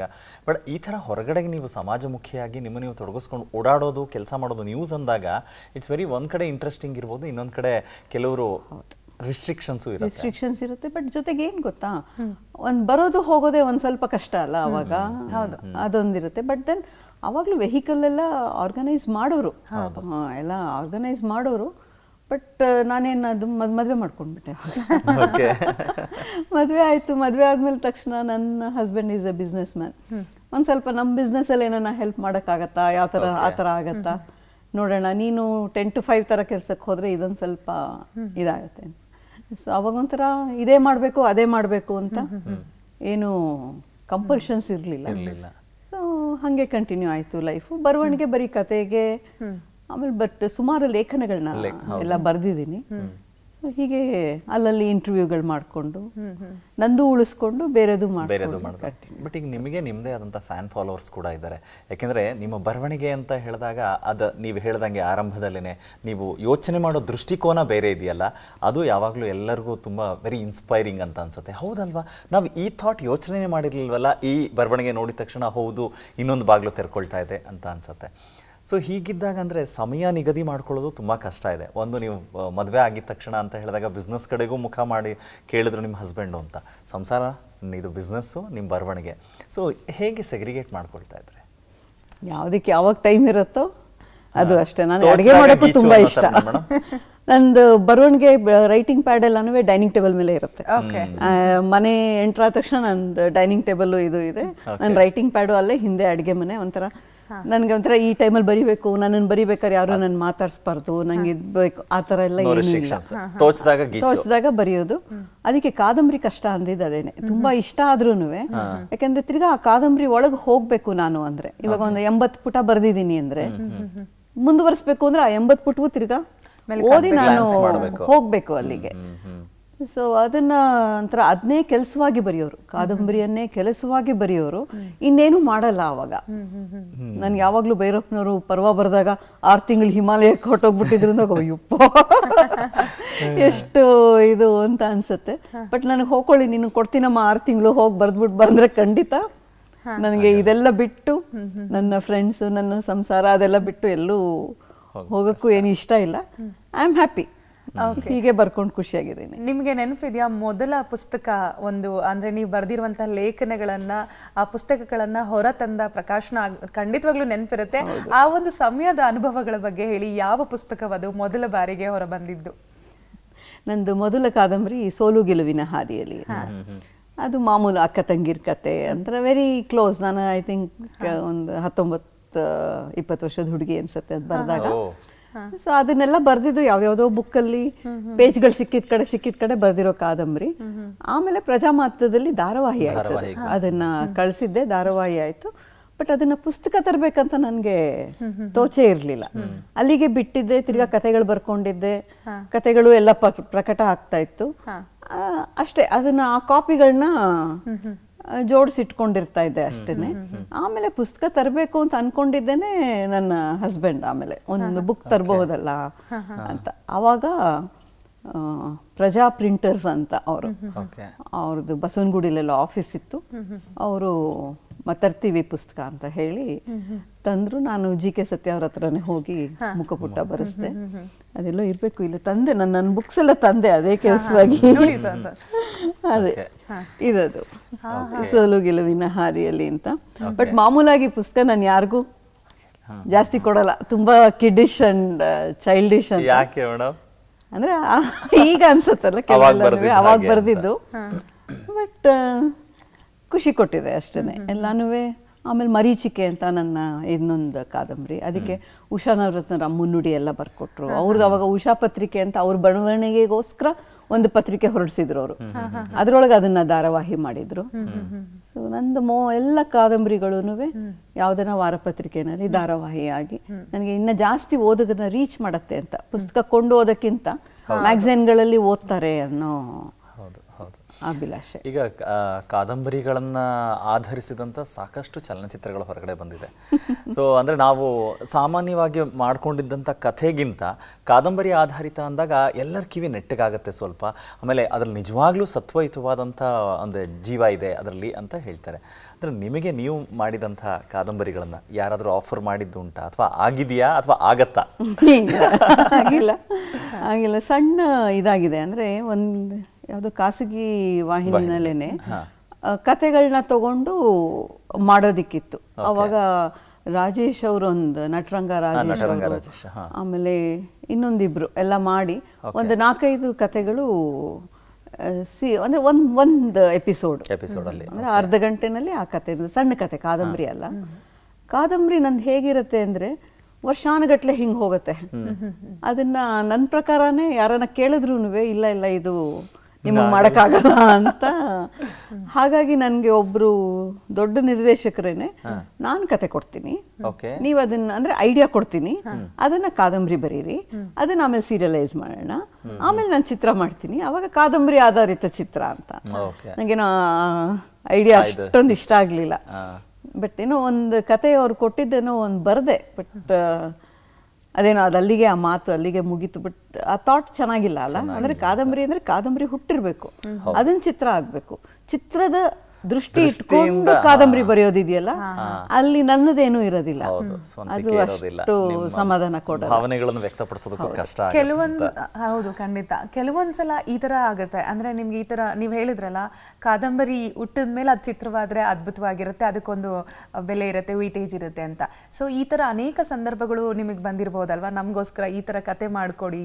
ಯಾಕಂದ್ರೆ ಅವಾಗ ತುಂಬಾ ಜನ ಆ, ಪತ್ರಿಕೆಗಳಲ್ಲೆಲ್ಲ ನಿಮ್ಮ ಧಾರಾವಾಹಿಗಳನ್ನ ನೀವು ಹೇಳೋ ತರ ಪುಸ್ತಕ ತಗೊಂಡು ಓದೋದಕ್ಕಿಂತ ಪತ್ರಿಕೆಗಳಲ್ಲಿ ಧಾರಾವಾಹಿಗಳಾಗಿ ಓದ್ತಾ ಇದ್ರು. ಅವಾಗ ಅವ್ರ ಮನಸ್ಸಿಗೆ ಇನ್ನ ತಾಡ್ತಾ ಇತ್ತು ಅನ್ಸುತ್ತೆ. ಅವಾಗ ಬರ್ತಿದ್ದಂತ ಅನಿಸಿಕೆ ಅಭಿಪ್ರಾಯಗಳ ಬಗ್ಗೆ. ಸೊ ನಿಮಗೆ ಪತ್ರಗಳು ಬರ್ತಿತ್ತು. ಇದು ಇಲ್ಲ ಅಷ್ಟೇ. ಮುಂಚೆ ತುಂಬಾ ಪತ್ರಗಳು ಬರೆಯೋರು. ಹೌದು. ಹೌದು. ಸೊ ಆ ಪತ್ರಗಳ ಒಂದು ವ್ಯವಹಾರನೇ ಅದ್ಭುತ ಅನ್ಸುತ್ತೆ. ಒಂದು ಪತ್ರಕ್ಕೋಸ್ಕರ ನಾವು ಕೆಲವೊಂದ್ಸಲ ತಂದೆ ತಾಯಿಗಳು ಬೇರೆ ಊರಲ್ಲಿ ಇರ್ತಾರೆ ನಾವು ಇಲ್ಲೆಲ್ಲ ಓದ್ತಾ ಇರ್ತೀವಿ ಪತ್ರಗಳು ಬರ್ತಿತ್ತು. ಸೊ ಓದೋದಕ್ಕೆ ಖುಷಿ. ಲೆಟರ್ ಬಂತ ಲೆಟರ್ ಬರ್ಲಿಲ್ವಾ ಅನ್ನೋ ಒಂದು ನಿರೀಕ್ಷೆಯಲ್ಲೂ ಕೂಡ ನಾವು ಇರ್ತೀವಿ. ನಿಜ, ಸೊ ನಿಮ್ಮ ಅಭಿಮಾನಿಗಳು ಸಾಕಷ್ಟು ಜನ ನಿಮಗೆ ಪತ್ರಗಳನ್ನ ಬರೀತಾ ಇದ್ರು. ಆ ಆ ಪತ್ರಗಳ ಬಗ್ಗೆ ಹೇಳಿ ಯಾವ್ದಾದ್ರು ಇವಾಗ್ಲೂ ಕೂಡ ನಿಮ್ಮ ಮನಸ್ಸಿಗೆ ತುಂಬಾ ನೆನಪಿರುವಂತಹ ಪತ್ರಗಳು ನಿಮ್ಮನ್ನು ಕಾಡ್ತಿದ್ದಂತ ಪತ್ರಗಳ ಬಗ್ಗೆ. ಅದನ್ನೊಂದು ಫೈಲ್ ಮಾಡಿ ಇಟ್ಟಿದ್ದೀನಿ ಎಲ್ಲ ಪತ್ರಗಳು ಎಷ್ಟು ಹಳೆ ಪತ್ರಗಳೆಲ್ಲ ಇದೆ ಅದರೊಳಗೆ. ಎಲ್ಲ ನೀವು ಹೇಳಿದ್ಮೇಲೆ ಇವಾಗ ತಿರ್ಗಾ ಹೋಗಿ ಇನ್ನೊಮ್ಮೆ ಓದ್ಬೇಕನ್ನ ಎಲ್ಲ ಅಲ್ವಾ? ಚೆನ್ನಾಗಿತ್ತು. ಪತ್ರಗಳೆಲ್ಲಾನು ಒಂದ್ಸತಿ ಒಂದು ನನ್ನ ವಿಳಾಸ ಇಟ್ಕೊಂಡು ಒಬ್ರು ಓದುಗ್ರು ನಂದೊಂದು ಕತೆ ಬಂದಿತ್ತು. ಅದರೊಳಗೆ ಅವಳು ನಾಯಕಿ ಏನ್ ಮಾಡ್ತಾಳೆ ಕೊನೆಗೆ ಗಂಡ ಮಕ್ಕಳನ್ನ ಬಿಟ್ಬಿಟ್ಟು ಹೊಟ್ಟೋಗ್ತಾಳೆ ಅಂತ ಕತೆ ಹಾಗೆ ಒಂದು ಸಣ್ಣ ಕತೆ ಅಷ್ಟೇನೆ. ಸುಮಾರು ಬರ್ದೋರೆಲ್ಲ ಏನು ಬರೋದು ಅಂದ್ರೆ ಅವಳು ಹಂಗೆ ಹೋಗ್ಬಾರ್ದಿತ್ತು. ಆ ಥರ ಒಂಥರ ನನಗೆ ಗೊತ್ತಾಯ್ತು ಅದು ನೀವೇ ಅದು ಅಂತ ಆ ಥರ ಎಲ್ಲಾನು. ಅದು ಮೊದಲ ಬಾರಿ ನನ್ನ ಫೋಟೋ ಬೇರೆ ಹಾಕಿ ಪ್ರಕಟ ಮಾಡಿದ್ದ ಕತೆ ಅದು. ಆಮೇಲೆ ಯಾರೋ ಮನೆಗೆ ಹುಡುಕೊಂಡು ಬಂದ್ಬಿಟ್ಟಿದ್ರು ಒಬ್ರು. ಓಕೆ ನಮ್ಮಪ್ಪ ಅದು ನಾನಿನ್ನ ಅವಾಗ ನಮ್ಮ ತಾಯಿ ಮನೆ ಅಡ್ರೆಸ್ಸು ಮದುವೆ ಆಗಿತ್ತು ಆದ್ರೆ ಅಡ್ರೆಸ್ ಎಲ್ಲ ಇನ್ನು ಅಮ್ಮನ ಮನೆ ಇದ್ರೊಳಗೆ ಹೋಗ್ತಾ ಇತ್ತು. ಬಂದ್ಬಿಟ್ಟು ಮಾತಾಡ್ಬೇಕು ಅಂತ. ನಮ್ಮಪ್ಪ ಏನಪ್ಪ ಮಾತಾಡೋದಿದೆ ಕತೆ ಓದ್ಬೇಕಷ್ಟೇ ಅಂತ ನಮ್ಮಪ್ಪಂಗೆ ತುಂಬಾ ಟೆನ್ಷನ್ ಯಾರೋ ಮನೆಗೆ ಬಂದ್ಬಿಟ್ಟಿದ್ದಾರೆ. ಅಂತ ನಾನು ಪಾಪ ಏನೋ ಕತೆ ಬಗ್ಗೆ ಮಾತಾಡಕ್ಕೆ ಅಂದ್ರೆ ಇಲ್ಲ ಅದು ಬೇರೆ ತರ ಏನೋ ಐಡಿಯಾ ಇತ್ತು ಅಂತ ಅನ್ಸುತ್ತೆ. ನಮ್ಮ ತುಂಬಾ ತುಂಬಾನೇ ಕೋಪ ಬಂದಿತ್ತು. ನೀನು ಇನ್ಮೇಲೆ ಫೋಟೋ ಹಾಕಕ್ಕೆ ಯಾರಿಗೂ ಕೊಡಬೇಡ. ಆ ತರ ಎಲ್ಲ. ಇದಾಗತ್ತೆ ಅಂತ. ಬಟ್ ಚೆನ್ನಾಗಿತ್ತು. ಎಲ್ಲ ತರದ್ದು ಬಟ್ ಕತೆ ಬಗ್ಗೆನೂ ಬರ್ದೋರು ಸೀರಿಯಸ್ ಆಗಿ ಬರ್ದೋರು ಇದ್ದಾರೆ ಆಮೇಲೆ ನಂದೊಂದು ಕತೆ ಜಾನ್ ಗ್ರಿಶಾಮ್ ಅಂತ ಇಂಗ್ಲೀಷಲ್ಲಿ ಬರೀತಾರೆ. ಅವರ ನಾವೆಲ್ದು ಅಡಾಪ್ಟೇಷನ್ ಕನ್ನಡದ್ದು. ಅದು ಸುಧಾದಲ್ಲಿ ಧಾರಾವಾಹಿ ಆಗಿತ್ತು. ಎರಡು ಎಪಿಸೋಡ್ ಆಗೋ ಹೊತ್ತಿಗೆ ಒಬ್ರು ನನಗೆ ಬರೆದ್ರು. ನೀವು ಅದನ್ನ ಜಾನ್ ಗ್ರಿಶಾಮ್ದು ಛಾಯೆ ಇದೆ. ನೀವು ಕ್ರೆಡಿಟ್ ಕೊಡಬೇಕಿತ್ತು. ಅಮ್ಮ ಕೊಟ್ಟಿದ್ದೀನಿ ಅಂದ್ರೆ it was a objection so ಅವ್ರಿಗೆ ನಾನು ಇಮಿಡಿಯೇಟ್ ಆಗಿ ಕಾಗ್ದ ಬರ್ದೆ. ಆ ಥರ ವ್ಯವಹಾರ ಪತ್ರ ವ್ಯವಹಾರ ಸುಮ್ಮನೆ ಹೊಗಳು ಬರೆದ್ರೆ ನಾನು ಒಂದು ಥ್ಯಾಂಕ್ ಯು ಅಷ್ಟೇ ಅದು. ಈ ತರ ಏನನ್ನ ಇದ್ದಾಗ ಅವ್ರಿಗೆ ಬರ್ದೆ. ನಾನು ಸುಧಾದಿಗೆ ಬರೆದು ಕಳಿಸಿದ್ದೀನಿ ಇದು ಜಾನ್ ಗ್ರಿಶಮ್ ಅವರ ಈ ಕಾದಂಬರಿ. ಅಂದ್ರೆ ಪೂರ ಹಂಗೆ ಇದಲ್ಲ ಅದು ಟ್ರಾನ್ಸ್ಲೇಷನ್ ಅಲ್ಲದೆ ಇರೋದ್ರಿಂದ ಅಡಾಪ್ಟೇಷನ್ ತರದ್ದು ಬಟ್ ಫುಲ್ಲು ಬದಲಾಗಿದೆ ಈ ತರ ಬಟ್ ಆ ಛಾಯೆ ಇದೆ ಅಂತ ನಾನು ಬರ್ದಿದ್ದೀನಿ. ಅದು ಸುಧಾದವ್ರು ಹಾಕ್ಬೇಕು ಅದನ್ನ ಪ್ರಕಟ ಮಾಡೋದು ನನ್ನ ಕೈಲಿಲ್ಲ. ನಾನು ಬರ್ದಾಗಿದೆ ಅದನ್ನ ಅವ್ರು ಹಾಕ್ತಾರೆ ಮೇ ಬಿ ಕಾದಂಬರಿ ಮುಗಿದ್ಮೇಲೆ ಹಾಕ್ತಾರೋ? ಏನನ್ನ ಹಾಕ್ಬೋದು ಅಂತ ಅನ್ಸುತ್ತೆ. ಅಂದ್ರೆ ತುಂಬಾ ಸೆನ್ಸಿಟಿವ್ ಇಶ್ಯೂ ಕೆಲವೆಲ್ಲಾನು ಅಂದ್ರೆ ಅಕ್ಯೂಸೇಷನ್ ಬಂದ್ಬಿಡ್ತು ಅಂದ್ರೆ ತುಂಬಾ ಕಷ್ಟ ಅದು. ನಿಮ್ಮ ಬರವಣಿಗೆಗೆ ನೀವು ಟೋಟಲಿ ಎಲ್ಲದಕ್ಕೂ ಹೂ ಇಸ್ ಗುಡ್ ಕ್ರಿಟಿಕ್ ವಿಮರ್ಶೆ ಮಾಡೋರು ಯಾರು ನಿಮ್ಮ ಮನೆಯಲ್ಲಿ? ಯಾರು ಓದ್ತಾರೆ ಅದನ್ನ ಯಾರು ಓದ್ತಾರೆ ಫಸ್ಟ್ ಅಂತ. ಫಸ್ಟ್ ಓದೋರು ಸಂಪಾದಕರೇ. ನನ್ನ ಮನೆಯಲ್ಲಿ ಯಾರಿಗೂ ಓದಕ್ಕೆ ಏನು ಕೊಡಲ್ಲ. ಅದನ್ನ ಬರ್ದಾದ್ಮೇಲೆ ನಾನು ಕಳಿಸ್ಬಿಡ್ತೀನಿ ಪತ್ರಿಕೆಗೆ. ನನಗೆ ಆ್ಯಕ್ಚುಲಿ ಸಂಪಾದಕರ ಪರಿಚಯ ಕೂಡ ಆ ಥರ ಯಾರನ್ನೂ ಪರಿಚಯ ಕೂಡ ಇಟ್ಕೊಂಡಿಲ್ಲ. ಇನ್ನು ಪೋಸ್ಟಲ್ಲೇ ಕಳಿಸ್ತೀನಿ. ಅವರು ಪ್ರಕಟ ಇದು ಆಗತ್ತೆ ಅಷ್ಟೇನೆ. ಗಂಡ ಏನು ಕನ್ನಡ ಓದಲ್ಲ ಅಷ್ಟು ಪೇಷನ್ಸ್ ಇಲ್ಲ ಅವ್ರಿಗೆ. ಬಟ್ ನನಗೆ ಕೂಡಿಸಿ ಓದಿಸ್ ಓದ್ತೀನಿ ನಾನು ಅವ್ರ ಮುಂದೆ ಕೇಳಿ ಕೇಳಿ ಅಟ್ಲೀಸ್ಟ್ ಅಂತ. ನಾನು ಓದ್ತೀನಿ ನೀವು ಕುತ್ಕೊಂಡು ಕೇಳಿ ಅಂತ. ಮಕ್ಕಳು ಓದ್ತಾರೆ ನನ್ನ ಕಥೆಗಳನ್ನ ಓದ್ತಾರೆ. ಬಟ್ ಯಾರು ಆ ಥರ ಮನೆಯಲ್ಲಿ ಆ ಥರ ಏನು ಏನೂ ಇಲ್ಲ. ಇದಿಲ್ಲ. ಆ ಥರ ಕ್ರಿಟಿಸೈಸ್ ವಿಮರ್ಶೆ ಆ ಥರ ಎಲ್ಲ ಜಾಸ್ತಿ ಏನಿಲ್ಲ. ಸ್ನೇಹಿತರ ವಲಯದಲ್ಲಿ ಇದೆ. ನಮ್ದೊಂದು ಈ ಹೊತ್ತಿಗೆ ಅಂತ ಒಂದು ಗುಂಪು ಬೇರೆ ಇದೆ. ಅಂದ್ರೆ ಕತೆ ಕಾದಂಬರಿಗಳನ್ನ ಓದ್ತೀವಿ ಚರ್ಚೆ ಮಾಡ್ತೀವಿ. ಸೊ ಆ ಗುಂಪಲ್ಲಿ ನನ್ನ ಕತೆ ಇದು ಏನೋ ಓದಿರ್ತಾರೆ ಅಲ್ಲಿ ಒಂದು ಚೂರು ಚರ್ಚೆ ಆಗತ್ತೆ. ನಾವು ಬೇರೆ ಕಥೆಗಳದ್ದು ತಗೋತೀವಿ ಆದ್ರೆ ಎಲ್ಲರೂ ಸ್ವಲ್ಪ ಲೇಖಕರು ಸಮಾನ ಮನಸ್ಕರು ಓದೋದಲ್ಲಿ ಆಸಕ್ತಿ ಇರೋರು ಇರೋದ್ರಿಂದ ಅಲ್ಲೊಂದು ಸ್ವಲ್ಪ ಆ ಥರ ಚರ್ಚೆಗಳ ಅಲ್ಲ ಆ ಚರ್ಚೆ ಬಂದ ಹೊತ್ತಿನಲ್ಲಿ ಯಾವಾಗಲಾದ್ರೂ ಏನಾದರೂ ಇಲ್ಲ ನೀವು ಇದನ್ನೇನಾದರೂ ಒಂದು ಸ್ವಲ್ಪ ಬದಲಾಯಿಸ್ಕೊಂಡಿದ್ರೆ ಇದ್ರದ್ದು ತೂಕ ಇನ್ನೂ ಜಾಸ್ತಿ ಆಗ್ತಾ ಇತ್ತು ಅಂತ ಹೇಳಿ ಬದಲಾಯಿಸ್ಕೊಂಡಿರೋದು ಯಾವ್ದಾದ್ರು ಇದೆಯಾ? ಇಲ್ಲ.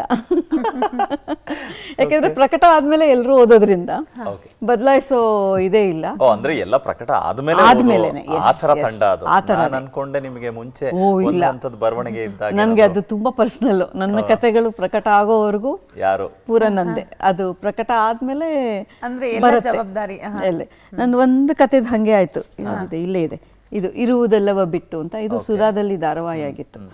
ತುಂಬಾ ಚರ್ಚೆ ಆಯ್ತು ಇದ್ರ ಬಗ್ಗೆ. ಯಾಕೆಂದ್ರೆ ಇದು ಕೊನೆನಲ್ಲಿ ಕೊನೆ ತುಂಬಾ ಜನಕ್ಕೆ ಇಷ್ಟ ಆಗ್ಲಿಲ್ಲ.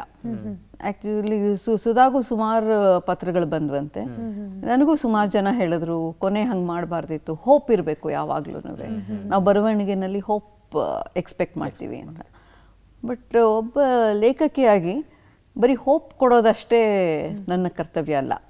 ಏನಾಗುತ್ತೆ ಅಂದ್ರೆ ಒಂದು ಕತೆ ಕಾದಂಬರಿ ಬರೆದಾಗ ಅದು ಒಂದು ಸಹಜವಾದ ಅಂತ್ಯ ಕಂಡುಕೊಳ್ಬೇಕು. ನಾನು ಯಾವತ್ತೂ ಕತೆ ಅಂತ್ಯ ಇದು ಅಂತ ನಿರ್ಧಾರ ಮಾಡಿ ಬರೆಯೋಳಲ್ಲ.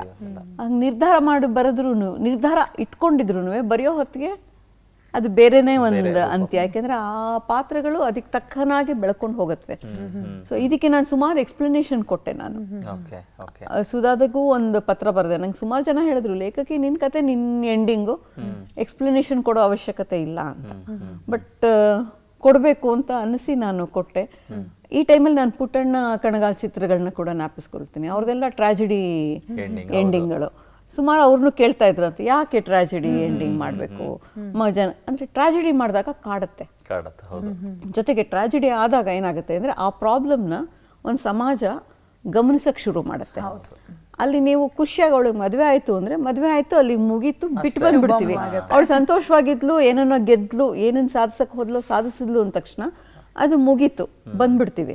ಬಟ್ ಅದು ಆಗ್ಲಿಲ್ಲ ಅಂದಾಗ ಅದೊಂದು ಸಮಸ್ಯೆ ಅಂತ ಗೊತ್ತಾಗತ್ತೆ. ಆವಾಗ ಆ ಸಮಸ್ಯೆಗೆ ಪರಿಹಾರ ಏನು ಯಾತಕ್ಕೆ ಹೀಗೆ ಅನ್ನೋ ಒಂದು ಕಾಡಕ್ಕೆ ಶುರು ಆದಾಗ ಒಂದು ಯೋಚನೆ ಆ ಲಹರಿನಲ್ಲಿ ಹೋಗುತ್ತೆ. ನಿಜ. ನೀವು ನಿಮ್ಮ ಕಥೆನಲ್ಲಿ ಎಂಡು ಅಥವಾ ಸಿನಿಮಾದಲ್ಲಿ ಎಂಡ್ ಅಂತ ಹೇಳಿದ್ರೆ ಈ ತರ ಎಂಡ್ ಮಾಡಿದಾಗ ಹೊಸದೊಂದು ಆರಂಭಕ್ಕೆ ನಾಂದಿ ಹೌದು ತುಂಬಾ ಅದ್ಭುತವಾದಂತ ಥಾಟ್ ಪ್ರೊಸೆಸ್ ಅದು. ಆಕ್ಚುಲಿ ಸಮಾಜಕ್ಕೆ ನೋಡಿ ಏನಂದ್ರೆ ನಾವು ಹೇಳ್ಬಿಟ್ಟು ಬರೆದ್ಬಿಟ್ಟು ತೋರಿಸ್ಬೇಕು ಅಂತಿಲ್ಲ. ಈ ತರ ಮಾಡಿದಾಗ ಪ್ರೊವೋಕ್ ಮಾಡೋದು ಪ್ರವೋಕ್ ಮಾಡಬೇಕು. ಒಂದು ಯೋಚನೆಗೆ ಹಚ್ಚಬೇಕು. ನಿಜ. ನಾನು ಅದು ಯಾವಾಗಲೂ ಒಂದು ಯಾವುದೋ ಒಂದು ಕಾದಂಬರಿಲಿ ಇದು ಬರೆದಿದ್ದೀನಿ. ಒಂದು ಕತೆ ಕಾದಂಬರಿಯ ಉದ್ದೇಶ ಏನು ಅಂತ ಕೇಳ್ತಾರೆ. ಕತೆ ಕಾದಂಬರಿಯ ಉದ್ದೇಶ ಫಸ್ಟ್ ಓದಿಸ್ಬೇಕು ಅಷ್ಟೇ. ಫಸ್ಟ್ ಪಾಯಿಂಟ್ ಏನಪ್ಪ ಅಂದರೆ ಒಂದು ಬುಕ್ ನೋಡಿದ್ರೆ ಅದು ತಗೊಂಡು ಓದಬೇಕು ಅಂತ ಅನ್ನಿಸ್ಬೇಕು. ಶುರು ಮಾಡಿದಾಗ ಕೊನೆವರೆಗೂ ಓದಬೇಕು. ಶುರು ಮಾಡಿಬಿಟ್ಟು ನಾನೇನೋ ತುಂಬ ಗಹನವಾದ ವಿಚಾರನ ಹೇಳ್ತಾ ಇದ್ರು ನಿಮ್ಗೆ ಅದರೊಳಗೆ ಆಸಕ್ತಿ ಹುಟ್ಟಿಸೋ ಅಂತ ಬರವಣಿಗೆ ನನ್ನಲ್ಲಿ ಇಲ್ಲದೆ ಹೋದರೆ ಏನು ಪ್ರಯೋಜನ ಇಲ್ಲ ನಾನು ಬರೆದು.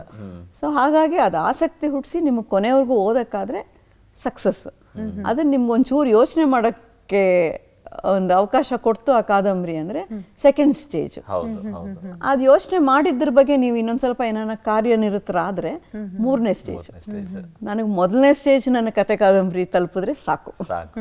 ನೀವು ಓದಿ ಒಂದು ನಿಮ್ಮ ತಲೆಯಲ್ಲಿ ಅದು ಉಳಿದ್ರೆ ಸಾಕು. ಇಲ್ಲದ್ರೆ ಐದನೇ ಸ್ಟೇಜಿಗೆ ಒಂದು ಬರ್ದಿದ್ದೀನಿ. ಅದು ಮಹಾಭಾರತ ರಾಮಾಯಣ ಆಗ್ಬೇಕಷ್ಟೇ. ಅಲ್ಲ ಆಕ್ಚುಲಿ ನಿಮ್ಮ ಅಂದರೆ ಬರವಣಿಗೆ ಸ್ಟ್ರೆಂತೇ ಅದಲ್ವಾ ಮೇಡಮ್ ಅಂದರೆ ತುಂಬ ತುಂಬಾ ಸಿಂಪಲ್ ಆಗಿ ನಾವು ನಾವು ಕೂತ್ಕೊಂಡು ಮಾತಾಡ್ತಾ ಇರೋ ಫ್ಲೋನಲ್ಲಿ ಹೋಗೋದೇ ನಿಮ್ಮ ಬರವಣಿಗೆಯ ಸ್ಟ್ರೆಂತ್ ಅಂತ ನನಗನ್ಸುತ್ತೆ. ಯಾಕಂದ್ರೆ ಅಷ್ಟು ಸಿಂಪ್ಲಿಫೈ ಮಾಡಿರ್ತೀರಾ. ಬಟ್ ಆದರೆ ವಿಷಯ ಅಷ್ಟೇ ಸೀರಿಯಸ್ ಆಗಿರೋದನ್ನ ಸುಲಭವಾಗಿ ಹೇಳೋಕ್ಕೆ ಯಾವಾಗಲೂ ಪ್ರಯತ್ನ ಪಟ್ಟಿರ್ತೀರ. ಇದು ಎಲ್ಲದರ ಮಧ್ಯದಲ್ಲೂ ಇನ್ನೊಂದು ಕಡೆ ನೋಡಿದ್ರೆ ಚಿತ್ರಕಥೆ ಸಂಭಾಷಣೆ ಅನ್ನೋದು ಇದೆಯಲ್ಲ ಅದು ಇನ್ನೊಂದು ರೀತಿಯ ಬರವಣಿಗೆಯ ಆಯಾಮ. ಎಲ್ಲರೂ ಬರೆಯೋಕ್ಕಾಗಲ್ಲ ಅಂತ ಹೇಳ್ತಾರೆ ಬಟ್ ನಿಮಗೆ ಆ ಕಡೆಗೂ ಆಫರ್ ಬರುತ್ತೆ. ಸೀರಿಯಲ್ಸ್ಗಳಿಗೆ ಎಲ್ಲ ಅದಕ್ಕೆ ನಿಮ್ಮನ್ನು ತೊಡಗಿಸ್ಕೊಂಡಿದ್ದ ರೀತಿ ಹೇಗೆ ನಿಮಗೆ ಸಿಕ್ಕಂಥ ಅವಕಾಶ ಹೇಗೆ? ಅದು ನನ್ನ ಕಾದಂಬರಿ ಮೂಲಕನೇ ಸಿಕ್ಕಿದ್ದು. ನನ್ನ ಮಾಯಾಮೃಗ ಮುಗಿದ ಟೈಮಲ್ಲಿ. ಓಕೆ. ಇದೇ ಚಂದನದಲ್ಲಿ ಬಂದಿದ್ದು. ಮಾಯಾಮೃಗ. ನಮ್ಮಮ್ಮ ತುಂಬಾ ಖುಷಿಯಾಗಿ ನೋಡ್ತಾ ಇದ್ರು. ನಾನು ನೋಡ್ತಾ ಇದ್ದೆ. ಎಲ್ಲ ನೋಡಿದ್ದ ಅದು. ಆಗ ಸೀತಾರಾಮ್ನ ಎಲ್ಲರೂ ತುಂಬಾ ಹೊಗಳಿದ್ದೆ ಅದು. ಅವಾಗ ನಾನು ಕೆಲವು ಪಾಯಿಂಟ್ಸ್ಗಳನ್ನ ಹಾಕಿ ಅವ್ರಿಗೊಂದು ಪತ್ರ ಬರ್ದೆ. ಅಂದ್ರೆ ಮುಗಿದ ಮೇಲೆ ಪತ್ರ ಬರ್ದೆ ಆಮೇಲೆ ನನ್ನ ಕಾದಂಬರಿಗಳನ್ನ ಕೊಟ್ಟು ಕಳಿಸ್ದೆ ಜೊತೆಗೆ. ಅವರು ನಿಮ್ ಕಾದಂಬರಿ ಹೆಂಗಿರುತ್ತೆ ಅಂದ್ರೆ ಬರೀ ಮಾತೇ ಇರುತ್ತೆ. ನನಗೆ ಅದನ್ನ ಬೈಬೇಕು ಅಂದ್ರೆ ವಾಚ್ಯ ಅಂತಾನು ಅಂತಾರೆ. ಅಂದ್ರೆ ಅನುಭವ ಇರಬೇಕು ಅನುಭವ ವಾಚ್ಯವಾಗಬಾರ್ದು ಅನ್ನೋದು ಒಂದೇನೇನೋ ಇದೆ ಕಂಡೀಷನ್ಸ್ ಇದೆ. ಬಟ್ ನಾನು ಲಿಟ್ರೇಚರ್ ಓದಿಲ್ದಿರೋದ್ರಿಂದ ಸುಮಾರು ಕಂಡೀಷನ್ಸ್ ನನಗೆ ಅಪ್ಲೈ ಆಗಲ್ಲ ಅಂತ ನನಗೆ ಬೇಕಾದಾಗ ಬರ್ಕೊಂಡಿದ್ದೀನಿ ಹಾಗಾಗಿ ಮಾತುಗಳು ಜಾಸ್ತಿ ಇರೋದ್ರಿಂದ ಅದೊಂಥರ ಸಂಭಾಷಣೆ ಇದ್ದಂಗೆ ಇದೆ ಕತೆ ಕಾದಂಬರಿ ಓದ್ತಾ ಇದ್ರೆ. ಸೊ ನೀವು ಯಾತಿಗೆ ಬರಿಬಾರ್ದು ಅಂತ ಫಸ್ಟ್ ಆಫರ್ ಬಂದಿದ್ದ ಹಾಗೆ. ತುಂಬಾ ಖುಷಿಯಾಗಿ ಬರ್ದೆ ಅದನ್ನ ಮನ್ವಂತರ. ಆಮೇಲೆ ಹಿಂಗೆ ಸುಮಾರು ಸೀರಿಯಲ್ಗಳಿಗೆ ಕತೆ ಅದು ಸೀರಿಯಲ್ ಮಾತ್ರನೂ ಒಂದು ಗುಂಪಿನ ಎಫರ್ಟ್ ಯಾವಾಗ್ಲೂ ಹೌದು. ಇಂಡಿವಿಜುವಲ್ ಕ್ರೆಡಿಟ್ ಅಂತ ತಗೊಳೋದಾದ್ರೆ ಡೈರೆಕ್ಟರ್ ತಗೋಬೋದು ಅಷ್ಟೇ. ಕತೆಗಾರರು ಕ್ರೆಡಿಟ್ ತಗೊಳ್ಳೋದು ಕಷ್ಟ ಯಾಕೆ ಅಂದ್ರೆ ಅದು ಗುಂಪಲ್ಲಿ ಡಿಸ್ಕಸ್ ಆಗತ್ತೆ ಕತೆ ಹೀಗೆ ಹೋಗ್ಬೇಕು ಜೊತೆಗೆ ಜನಕ್ಕೆ ಏನು ಇಷ್ಟ ಆಗತ್ತೆ ಅಂತ ಯೋಚನೆ. ನನ್ನ ಕತೆ ಯಾವತ್ತು ನನಗೆ ಜನಕ್ಕೆ ಇಷ್ಟ ಆಗಲಿ ಅಂತ ಬರೆದಿರೋ ಕತೆಗಳು ಯಾವುದೂ ಇಲ್ಲ. ನನಗೆ ಅವಾಗ ಆ ಸಮಯಕ್ಕೆ ಏನು ಅನ್ನಿಸ್ತೋ ಅದನ್ನ ಕತೆ ರೂಪದಲ್ಲಿ ಬಂದಿರತ್ತಷ್ಟೇ ಹೊರತು ನಾನು ಹಿಂಗೆ ಬರೆದ್ರೆ ಇಷ್ಟ ಆಗದೆ ಇರ್ಬೋದು ಆ ಥರ ಎಲ್ಲ ಯೋಚನೆ ನಾ ಮಾಡಲ್ಲ. ಆದರೆ ಸೀರಿಯಲ್ಗೆ ಬರಿಬೇಕಾದ್ರೆ ಅದನ್ನು ಯೋಚನೆ ಮಾಡಲೇಬೇಕು. ಆಮೇಲೆ ಜೊತೆಗೆ ಜನಕ್ಕೆ ಯಾವ್ದು ಇಷ್ಟ ಆಗುತ್ತೋ ಆ ಟ್ರ್ಯಾಕ್ನ ಕಂಟಿನ್ಯೂ ಮಾಡಬೇಕು. ಏನೇನೋ ತುಂಬಾ ಏನೋ ಅಡ್ಡಗಾಲಗಳಿದೆ ಸೀರಿಯಲ್ ಕತೆಗೆ ಸಂಭಾಷಣೆಗೆ. ಆದ್ರೂ ಇಷ್ಟ ಇತ್ತು. ಬರದೆ ಸೊ ಒಂದು ಗುಂಪಲ್ ಕತೆ ಹೆಂಗೆ ಬೆಳೆಯುತ್ತೆ ಅನ್ನೋ ಒಂದು ಅನುಭವ ಕೂಡ ಆಯಿತು. ಅದು ಏನಿಲ್ಲದ್ರೂ ಜನಪ್ರಿಯತೆ ತಂದುಕೊಡ್ತು. ಸೀರಿಯಲ್ಗಳು ಅದೊಂದು ಓ ಆ ಸೀರಿಯಲ್ ಮಾಡಿ ನಾನು ಇದನ್ನು ಹೇಳ್ಬೇಕಾದ್ರೆ ಯಾವಾಗಲೂ ಒಂದು ಫಸ್ಟು ನನ್ನನ್ನು ಇಂಟ್ರಡ್ಯೂಸ್ ಮಾಡಿಕೊಟ್ರೆ ಯಾರನ್ನ? ಓ ಹಲೋ ಹಿಂಗೆ ಕೂತಿರ್ತಾರೆ. ಹಲೋ ಆಮೇಲೆ ಕತೆ ಎಲ್ಲ ಬರೀತಾರೆ. ಹೌದಾ? ಅಷ್ಟೇ. ನೆಕ್ಸ್ಟ್ ಸೀರಿಯಲ್ಗೆಲ್ಲ ಬರೀತಾರೆ. ಅವಾಗ ಒಂದು ಸ್ವಲ್ಪ ಇಂಟ್ರೆಸ್ಟು ಓ ಅಂತ. ಅಂದರೆ ನಾನು ಒಂದೊಂದೇ ಸ್ಟೆಪ್ ಜನಕ್ಕೆ ಇಷ್ಟ ಆಗೋದು. ಕೊನೆಗೆ ನಂದೊಂದು ಚಿಕ್ಕ ಹೋಟೆಲ್ ಇದೆ. ಆ ಹೋಟೆಲ್ ನಾವು ಅವತ್ತು ಹೋಗಿದ್ವಲ್ಲ ಅದು ಹೌದಾ? ಅಂತ ನಿಂತ್ಕೊಳ್ತಾರೆ ಆವಾಗ ಓಹೋ. So finally step by step ಯಾವುದಕ್ಕೆ ಇದಾಗತ್ತೆ ಅಂದರೆ ಹೀಗೆ. ಸೊ ಸೀರಿಯಲ್ಲು ತುಂಬಾನೇ ಖುಷಿ ಕೊಟ್ಟಿದೆ. ಬಟ್ ಈ ನಡುವೆ ಯಾವುದಕ್ಕೂ ಬರಿತಾ ಇಲ್ಲ. ಯಾಕೆಂದ್ರೆ ತುಂಬಾ ಸಮಯ ತಗೊಳತ್ತೆ. ಜೊತೆಗೆ ನಂದು ಅಂತ ಏನು ಉಳಿಯಲ್ಲ ಅಲ್ಲಿ. ಕತೆ ಕಾದಂಬರಿ ಆದ್ರೆ ನೋಡಿ ನಾನು ಇವಾಗ ಇಲ್ಲಿ ತಂದಿಟ್ಕೊಳ್ತೀನಿ ನನ್ನ ಪುಸ್ತಕ ನಂದಿದು ಅಂತ. ಎಷ್ಟು ಖುಷಿ ನನಗೆ ಇದು. ಅದು ಸೀರಿಯಲ್ಗಳು ಸಂತೋಷ ಕೊಟ್ರು ಜೊತೆಗೆ ಅದು ಗುಂಪಿನ ಹೌದು. ಆ, ಪರಿಶ್ರಮ. ಕ್ರಿಯೆ ಕ್ರಿಯೆ ಆಗಿರೋದ್ರಿಂದ ಒಂದು ಸ್ನೇಹ ವಲಯ ಹೆಚ್ಚಿಸಿದೆ ನನಗೆ. ಒಂದು ಅನುಭವ ವಲಯನೂ ಹೆಚ್ಚಿಸಿದೆ ನನ್ನ ಕತೆ ಮೇಲೆ ಇವಾಗ ಸೀರಿಯಲ್ ನನ್ನ ಕತೆಗಳ ಮೇಲೆ ಪರಿಣಾಮ ಬೀರುತ್ತೆ. ಒಂದು ಓಹೋ ಹೀಗೆ ಬರಿಬೇಕು ಇನ್ನ ಹೆಚ್ಚು ಬರಿಬೇಕು ಅನ್ನೋ ಆಸೆ ಹುಟ್ಟಿಸಿದೆ ಹಾಗೆ ನೀವು ಹೇಳ್ತಾ ಇದ್ರಿ ನೋಡಿ ಪುಸ್ತಕಗಳನ್ನ ನೋಡಿ ಎಷ್ಟು ಖುಷಿ ಆಗುತ್ತೆ ನನಗೆ ಅಂತ. ಇಷ್ಟು ಇಲ್ಲಿವರೆಗೆ ಸುಮಾರು ಎಷ್ಟು ಪುಸ್ತಕಗಳು ಹೊರ ಬಂದಿದೆ ಎಷ್ಟು ಕಾದಂಬರಿಗಳು ಹೊರ ಬಂದಿದೆ ಒಟ್ಟು ಹದಿನಾರು. ಅದರೊಳಗೆ ಕಾದಂಬರಿ ಎಂಟು ಒಂಬತ್ತು ಮಿಕ್ಕಿದ್ದು ಕಥಾ ಸಂಕಲನ. ಕಥಾ ಕಥಾ ಸಂಕಲನಗಳು. ಹಾ. ನನಗೆ ಕತೆ ಶಾರ್ಟ್ ಸ್ಟೋರಿ ಫೇವರೇಟ್ ಹ್ಮ್ ಹೌದು. ಎರಡು ಥರದಲ್ಲೂ ಅಂದ್ರೆ ಒಂದು ಬೇಗ ಮುಗ್ದು ಹೋಗುತ್ತೆ. ನನ್ಗೆ ಬರವಣಿಗೆನೂ ಇದಾಗತ್ತೆ. ಜಾಸ್ತಿ ಇದಿಲ್ಲ. ಜೊತೆಗೆ ತುಂಬಾ ಬೇಗ ತುಡಿತ ಬಟ್ ಈ ಫೇಸ್ಬುಕ್ ಬಂದು ಹಾಳಾಗಿರೋದೇನಪ್ಪ ಅಂತಂದ್ರೆ ಒಂದು ಶಾರ್ಟ್ ಸ್ಟೋರಿ ಆಗೋದು ಒಂದು ಸ್ಟೇಟಸ್ ಆಗ್ಬಿಟ್ಟು ಅಲ್ಲಿಗೆ ಆ ತುಡಿತ ಮುಗ್ದು ಹೋಗ್ತಾ ಇದೆ. ಸೊ ಹಾಗಾಗಿ ಸ್ವಲ್ಪ ನನ್ನ ಕತೆಗಳನ್ನ ಇಷ್ಟಪಡೋರು ಸುಮಾರು ಜನ ಹೇಳೋದು ಸ್ವಲ್ಪ ಫೇಸ್ಬುಕ್ ಕಮ್ಮಿ ಮಾಡಿಕೊಂಡು. ಕತೆ ಬರಿಯಮ್ಮ. ಸೊ ಅಂದ್ರೆ ಅಲ್ಲ ತೀರಾ ಇತ್ಲಾಗೆ ಇದು ಏನು ಮೆಗಾ ಸೀರಿಯಲ್ಗಳ ಚ್ಯೂಯಿಂಗಮ್ ತರ ಅಲ್ಲದೆ ಮಧ್ಯದಲ್ಲಿರೋದು ಬಟ್ ಎಲ್ರಿಗೂ ಅಂದ್ರೆ ಆ ಕ್ಯೂರಿಯಾಸಿಟಿ ಬಿಲ್ಡ್ ಮಾಡಿ ಒಂದೇ ಸಂಚಿಕೆನಲ್ಲಿ ಮುಗಿಸೋದಿದೆಯಲ್ಲ ಅದು ಮತ್ತು ವಿಶೇಷನೇ ಅಂತ ಅನ್ಸುತ್ತೆ. ಯಾಕೆಂದ್ರೆ ನಮ್ಮ ಚಂದನದಲ್ಲಿ ನೆನಪಿಸ್ಕೊಳ್ಳೋದಾದ್ರೆ ಮುಂಚೆ ಬರ್ತಾ ಇದ್ದಿದೆ ಹದಿಮೂರು ಎಪಿಸೋಡ್ಸ್ ಸೀರಿಯಲ್ಸ್ ಎಷ್ಟು ಚೆನ್ನಾಗಿ ಅನಿಸ್ತಾ ಇತ್ತು ಅದು. ಆ ಹದಿಮೂರಕ್ಕೆ ಅಂದ್ರೆ ಫೈನಲ್ ಫೈನಲ್ ಬಂದಿದ ತಕ್ಷಣ ಓ ಹಿಂಗಾಯ್ತಾ ಹಿಂಗಾಯ್ತಾ ಅಲ್ಲಿ ಕತೆ ಮುಗಿದಾಗ. ಬಟ್ ಇವತ್ತು ಒಂದು ಸಾವಿರ ಎಪಿಸೋಡ್ಸು ಎರಡು ಸಾವಿರ ಎಪಿಸೋಡ್ಸು ವರ್ಷಗಟ್ಟಲೆ ಬರೋದನ್ನ ನೋಡ್ತಾ ಇದ್ರೆ ನಮಗೆ. ಏನೇ ಇರಲಿ ಮೇಡಮ್ ನಿಮ್ಮ ನೆನಪಿನ ಜೊತೆಗೆ ನನ್ನದು ಅಂತ ಹೇಳ್ಕೊಳಕ್ಕೆ ಇಷ್ಟು ಬುಕ್ ಇದೆ. ಸಮೂಹದಲ್ಲಿ ಮಾಡಿದಾಗ ಬೇರೆ ರೀತಿಯಾಗಿ ಕ್ರೆಡಿಟ್ ಕೊಡುತ್ತೆ ಅಂತ ಹೇಳೋದಿದೆಯಲ್ಲ ಆ ನೆನಪುಗಳ ಬುತ್ತಿಯನ್ನು ಇವತ್ತು ನಮ್ಮ ಮುಂದೆ ನೀವು ತೆರೆದಿಟ್ಕೊಂಡಿದ್ದೀರಾ? ನೆನಪು ಇನ್ನೊಂದಷ್ಟು ಕೆದಕಣ. ಅದರ ಅದಕ್ಕಿಂತ ಮುಂಚೆ ಶುಭೋದಯದ ಒಳಗಡೆ ಇನ್ನೊಂದು ನೆನಪಿದೆ ಮೇಡಮ್ ಓಕೆ. ಆ, ಗಟ್ಟಿಯವರು ನಿನ್ನೆನೂ ಮಾತನಾಡ್ತಾ ಇದ್ರು ಅವರು ಪರಿಚಯ ಮಾಡಿಕೊಟ್ಟಿದ್ದು ಅಥವಾ ಅವ್ರನ್ನ ಇಂಟರ್ವ್ಯೂ ಮಾಡಿದ್ದು. ಇನ್ನೊಂದಷ್ಟು ನೆನಪುಗಳನ್ನು ಇವಾಗ ನೋಡ್ಕೊಂಡು ಬರೋಣ ಮೇಡಮ್ ಈಗ ನೆನಪಿನ ಅಂಗಳದಲ್ಲಿ.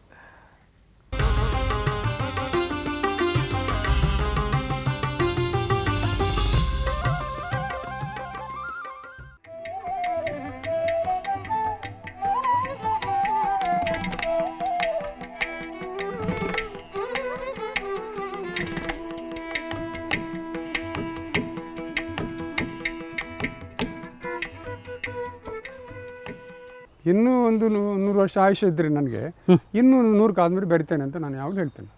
ಯಾಕಂದರೆ ನನಗೆ ಮನುಷ್ಯ ಮನುಷ್ಯನ ಒಳಗೆ ಹೊಕ್ಕರೆ ನನಗೆ ಇಡೀ ಪ್ರಪಂಚ ಕಾಣ್ತದೆ. ಪ್ರಪಂಚದಲ್ಲಿ ಪ್ರಪಂಚ ನೋಡಿದರೆ ಮನುಷ್ಯರು ಕಾಣ್ತಾರೆ ಆ ಮನುಷ್ಯರೇ ನನಗೆ ಸ್ಫೂರ್ತಿ. ಆದರೆ ಪ್ರತಿಯೊಬ್ಬ ಮನುಷ್ಯನ ಒಳಗೆ ಹೋಗಲಿಕ್ಕೆ ಪ್ರಯತ್ನ ಪಡ್ತೇನೆ ನಾನು. ಎಲ್ಲ ಮನುಷ್ಯರನ್ನು ಕೂಡ ಮನುಷ್ಯರನ್ನು ತಗೊಂಡು ನಾನು ಅದರಲ್ಲಿ ಆ ಒಂದು ಏನು ಹೇಳ್ತೀರಿ? ಫಿಕ್ಷನ್ ಅಂತ ಹೇಳ್ತೇವೆ ನಾವು. ಅದರಲ್ಲಿ ಒಂದು ಫಿಕ್ಷನನ್ನು ನಾನು ಬರೀ ವಾಸ್ತವನ ಬರೀದಿಲ್ಲ ವಾಸ್ತವದೊಟ್ಟಿಗೆ ಫಿಕ್ಷನನ್ನು ಬೆರೆ, ಬೆರಕೆ ಮಾಡಿ ಬರೀತೀನಿ ನಾನು. ಯಾಕಂದರೆ ಬರೀ ವಾಸ್ತವ ವರದಿ ಹಾಗೆ ಯಾರಿಗೆ ಇಚ್ಛ, ಇಷ್ಟ ಆಗೋದಿಲ್ಲ ಅದು. ಆದ್ದರಿಂದ ನಾನು ಫಿಕ್ಷನ್ ಅಂತ ಹೇಳಿದರೆ ಅದು ನಮ್ಮ ಕಲ್ಪನೆ ಇಮ್ಯಾಜಿನೇಷನ್ ಅದಕ್ಕೆ ಭಾಳ ಪ್ರಾಧಾನ್ಯ ಉಂಟು ಬರವಣಿಗೆಯಲ್ಲಿ ನನ್ನ ಪ್ರಕಾರ. ಹಾಗೆ ನಾನು ಶುದ್ಧ ಶುದ್ಧ ಫಿಕ್ಷನ್ ಕೂಡ ಬರೆದೆ ನಾನು. ಪ್ಯೂರ್ ಫಿಕ್ಷನ್ ಅಂತ ಹೇಳ್ತಾರೆ. ಪ್ಯೂರ್ ಫಿಕ್ಷನ್ ಬರ್ತೇನೆ ಶುದ್ಧ ವಾಸ್ತವವನ್ನು ನಾನು ಬರೆಯಲ್ಲ. ವಾಸ್ತವ ಅಂತ ತಗೊಂಡ್ರು ಕೂಡ ವ್ಯಕ್ತಿ ನಿಜ ವ್ಯಕ್ತಿಯೇ ಆಗಿರ್ತಾನೆ ನನ್ನ ಸುತ್ತಮುತ್ತಲಿನ ವ್ಯಕ್ತಿ ಆಗಿರ್ತಾನೆ. ಅವನನ್ನು ನಾನು ಬೇಕಾದ ಹಾಗೆ ಅವನನ್ನು ಕಂಡರಿಸಿಕೊಳ್ತೇನೆ. ಈ ರೀತಿಯಲ್ಲಿ ನಾನು ಬರೆದ ನನ್ನ ಬರಹದ ಸ್ವರೂಪ ಹೀಗೆ. ಅದು ಕತೆ ಇರಲಿ, ಕಾದಂಬರಿ ಇರಲಿ, ನಾಟಕ ಇರಲಿ, ಇದೇ ರೀತಿ ನಾನು ಬರಿತೇನೆ. ಇದೇ ರೀತಿ ನನ್ನ ಬರವಣಿಗೆ. ಅದು ನಿಲ್ಲಕ್ಕೆ ಸಾಧ್ಯವಿಲ್ಲ. ಅದು ಬರವಣಿಗೆ ಬರಿತಾ ಇರ್ತದೆ. ಈಗ ನನಗೆ ಆರೋಗ್ಯ ಅಷ್ಟು, ಮೊದಲಷ್ಟು ಅದನ್ನು ನನ್ನ ಸ್ಟ್ಯಾಮಿನ ಕಡಿಮೆ, ಹೆಚ್ಚೊತ್ತು ಕೂತ್ಕೊಂಡು ಬರಲಿಕ್ಕೆ ಆಗೋದಿಲ್ಲ ಕಂ, ಕಂಪ್ಯೂಟರ್ ಇದ್ರೆ ನಾನು ಕಂಪ್ಲೀಟ್ ಇದರಲ್ಲಿ, ಹತ್ತು, ಹದಿನೈದು ವರ್ಷದಿಂದ ಕಂಪ್ಯೂಟರ್ನಲ್ಲಿ ಇಂಗ್ಲೀಷು, ಕನ್ನಡ ಎಲ್ಲ ಪುಸ್ತಕಗಳನ್ನು ನಾನು ಬರೆದಿರೋದು ಕನ್ನಡ, ಅದರಲ್ಲಿ ಅದು ಸುಸ್ತಾಗ್ತದೆ ಕೆಲವು ಸರ್ತಿ. ಅದಷ್ಟು ಮಾಡಬಾರ್ದು ಅಂತ ಡಾಕ್ಟ್ರು ಹೇಳ್ತಾರೆ. ನನಗೆ ಸ್ವಲ್ಪ ಸ್ವಲ್ಪ ಆರೋಗ್ಯ ತೊಂದರೆ ಆದ ನಂತರ ನಾನು ಸ್ವಲ್ಪ ಜಾಗ್ರತೆ ಮಾಡ್ತೇನೆ. ಸದ್ಯಕ್ಕೆ ಆರೋಗ್ಯದಲ್ಲಿ ದೊಡ್ಡ ತೊಂದರೆ ಇಲ್ಲ, ಆದರೆ ಇಷ್ಟು ನಿಮ್ಮೊತ್ತಿಗೆ ಮಾತಾಡಲಿಕ್ಕೆ ಆಗ್ತದೆ. ಅಷ್ಟೊತ್ತು. ನನಗೆ ಸ್ಫೂರ್ತಿ ಇದ್ದರೆ ಮಾತಾಡಲಿಕ್ಕೆ ಆಗ್ತದೆ. ಇಲ್ಲದಿದ್ದರೆ ಇಲ್ಲ. ಮಾತಾಡುವಂಥ ಮನುಷ್ಯರು, ವ್ಯಕ್ತಿ, ಪ್ರಪಂಚ, ಲೋಕ, ಜಗತ್ತು ಚಟುವಟಿಕೆ ಏನಿದೆ, ಅದೆಲ್ಲವೂ ಸ್ಫೂರ್ತಿ ಕೊಡ್ತದೆ ಬರವಣಿಗೆ ಅಂತ ನನ್ನ ಭಾವನೆ. ಚಿಕ್ಕಂದಿನಲ್ಲಿ ನನ್ನ ಬರವಣಿಗೆಯ, ನನ್ನ ಸ್ಫೂರ್ತಿ ನನ್ನ ಅಪ್ಪ ಮತ್ತು ಅಮ್ಮ ಅಂತಲೇ ಹೇಳಬೇಕು. ಅಮ್ಮನಿಗೆ ಓದ್ ಬರಹ ಇರಲಿಲ್ಲ. ಆದರೆ ಅವರು ನಮ್ಮಿಂದ ಓದಿಸಿ ಕೇಳಿಸ್ಕೊಳ್ಸ್ ಕೇಳಿಸ್ಕೊಳ್ತಿದ್ರು ಅವರ ಹುಟ್ಟೂರು ಇಲ್ಲಿ ತಲಪಾಡಿ ಅಂತ ಅಮ್ಮಂದು. ನನ್ನ ತಂದೆಯವರು ಕೂಡ ಈ ಕಡೆಯವರೇ, ಕರ್ನಾಟಕದವರೇ, ಮತ್ತು ಅಲ್ಲಿ ಹೋಗಿ ಸೆಟ್ಲ್ ಆಗಿದ್ದರು ಹಾಗೆ ಅಲ್ಲಿಂದಲೇ ಆ ಪುಸ್ತಕಗಳನ್ನು ಓದಿ ಓದಿ ಓದಿ ಓದಿ. ಪುಸ್ತಕ ಅಂದರೆ ಯಾವುದೇ ಪುಸ್ತಕ ಆಗ್ಬೋದು. ಕೆಟ್ಟ ಪುಸ್ತಕ ಅಂತ ಆಗ ಸಿಗ್ತಿರಲಿಲ್ಲ. ಎಲ್ಲ ಒಳ್ಳೆ ಪುಸ್ತಕಗಳೇ ಆಗಿದ್ವು. ಎಲ್ಲ ಕಾದಂಬರಿಕಾರರು ಗಟ್ಟಿಮನಿ ಇರ್ಬೋದು ಆನಕರು ಇರ್ಬೋದು, ತರಾಸು ಇರ್ಬೋದು, ಕುವೆಂಪು, ಕಾರಂತರು ಎಲ್ಲರನ್ನೂ ಓದಿದ್ದೇವೆ. ಎಲ್ಲರನ್ನೂ ಓದಿ ಆಗಿದೆ ಕವಿತೆ ಅದರಲ್ಲಿ ಕಾ ಕವಿ ಇದಂತಲ್ಲ, ಕಾದಂಬರಿ ಅಂತಲ್ಲ. ಕವಿತೆ ಆದರೆ ಕವಿತೆ ಚಿಕ್ಕ ಕತೆ ಆದರೆ ಚಿಕ್ಕ ಕತೆ ಅದು ಎಲ್ಲವನ್ನು ನಾನು ಕೂತ್ಕೊಂಡು ಇಡೀ ಒಂದು ಪಟ್ಟಿ ಮಾಡಿದರೆ ಒಂದು ನೂರು ಸಾವಿರ ಆಗ್ಬೋದು. ಆ ಥರ ಪುಸ್ತಕ ಓದುವಂಥ ಒಂದು ಹುಚ್ಚೆ ಇತ್ತು ನನಗೆ. ಆ ಹುಚ್- ಹುಚ್ಚನ್ನು ನನ್ನ ಮನೆಯಲ್ಲಿ ಸಹ ಎಲ್ಲರೂ ಒಪ್ಪಿಕೊಂಡಿದ್ದರು, ಪ್ರೀತಿಸ್ತಿದ್ದರು. ಅದೇ ಅಷ್ಟೇ ನಾನು, ಮತ್ತೇನಿಲ್ಲ.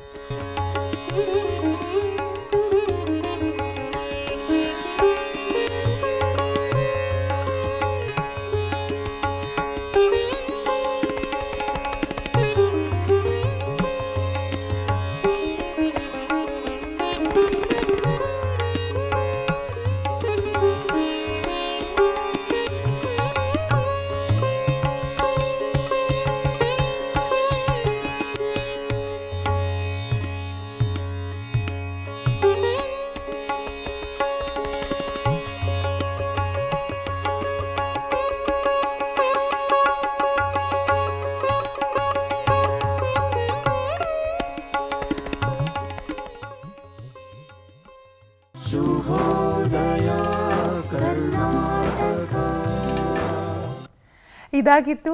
ಕೆ ಟಿ ಗಟ್ಟಿ ಅವರ ನೆನಪಿನಂಗಳ ಅದ್ಭುತವಾಗಿರುವಂತಹ ನೆನಪಿನಂಗಳ ಖಂಡಿತವಾಗ್ಲೂ ನಿಮ್ಮೆಲ್ಲ ನೆನಪುಗಳನ್ನು ಮೆಲ್ಕಾಕೋಣ. ಆದರೆ ನಮ್ಮ ಜೊತೆ ಇದ್ದಾರೆ ಲೇಖಕಿ ಆಗಿರುವಂಥ ಗೀತಾ ಅವರು. ಗೀತಾ ಬಿ ಯು ಅವರು ಅಂದ್ರೆ ಬರವಣಿಗೆಯ ಯೂನಿವರ್ಸಿಟಿ ಅಂತ ನಾವು ಹೇಳ್ಬೋದು.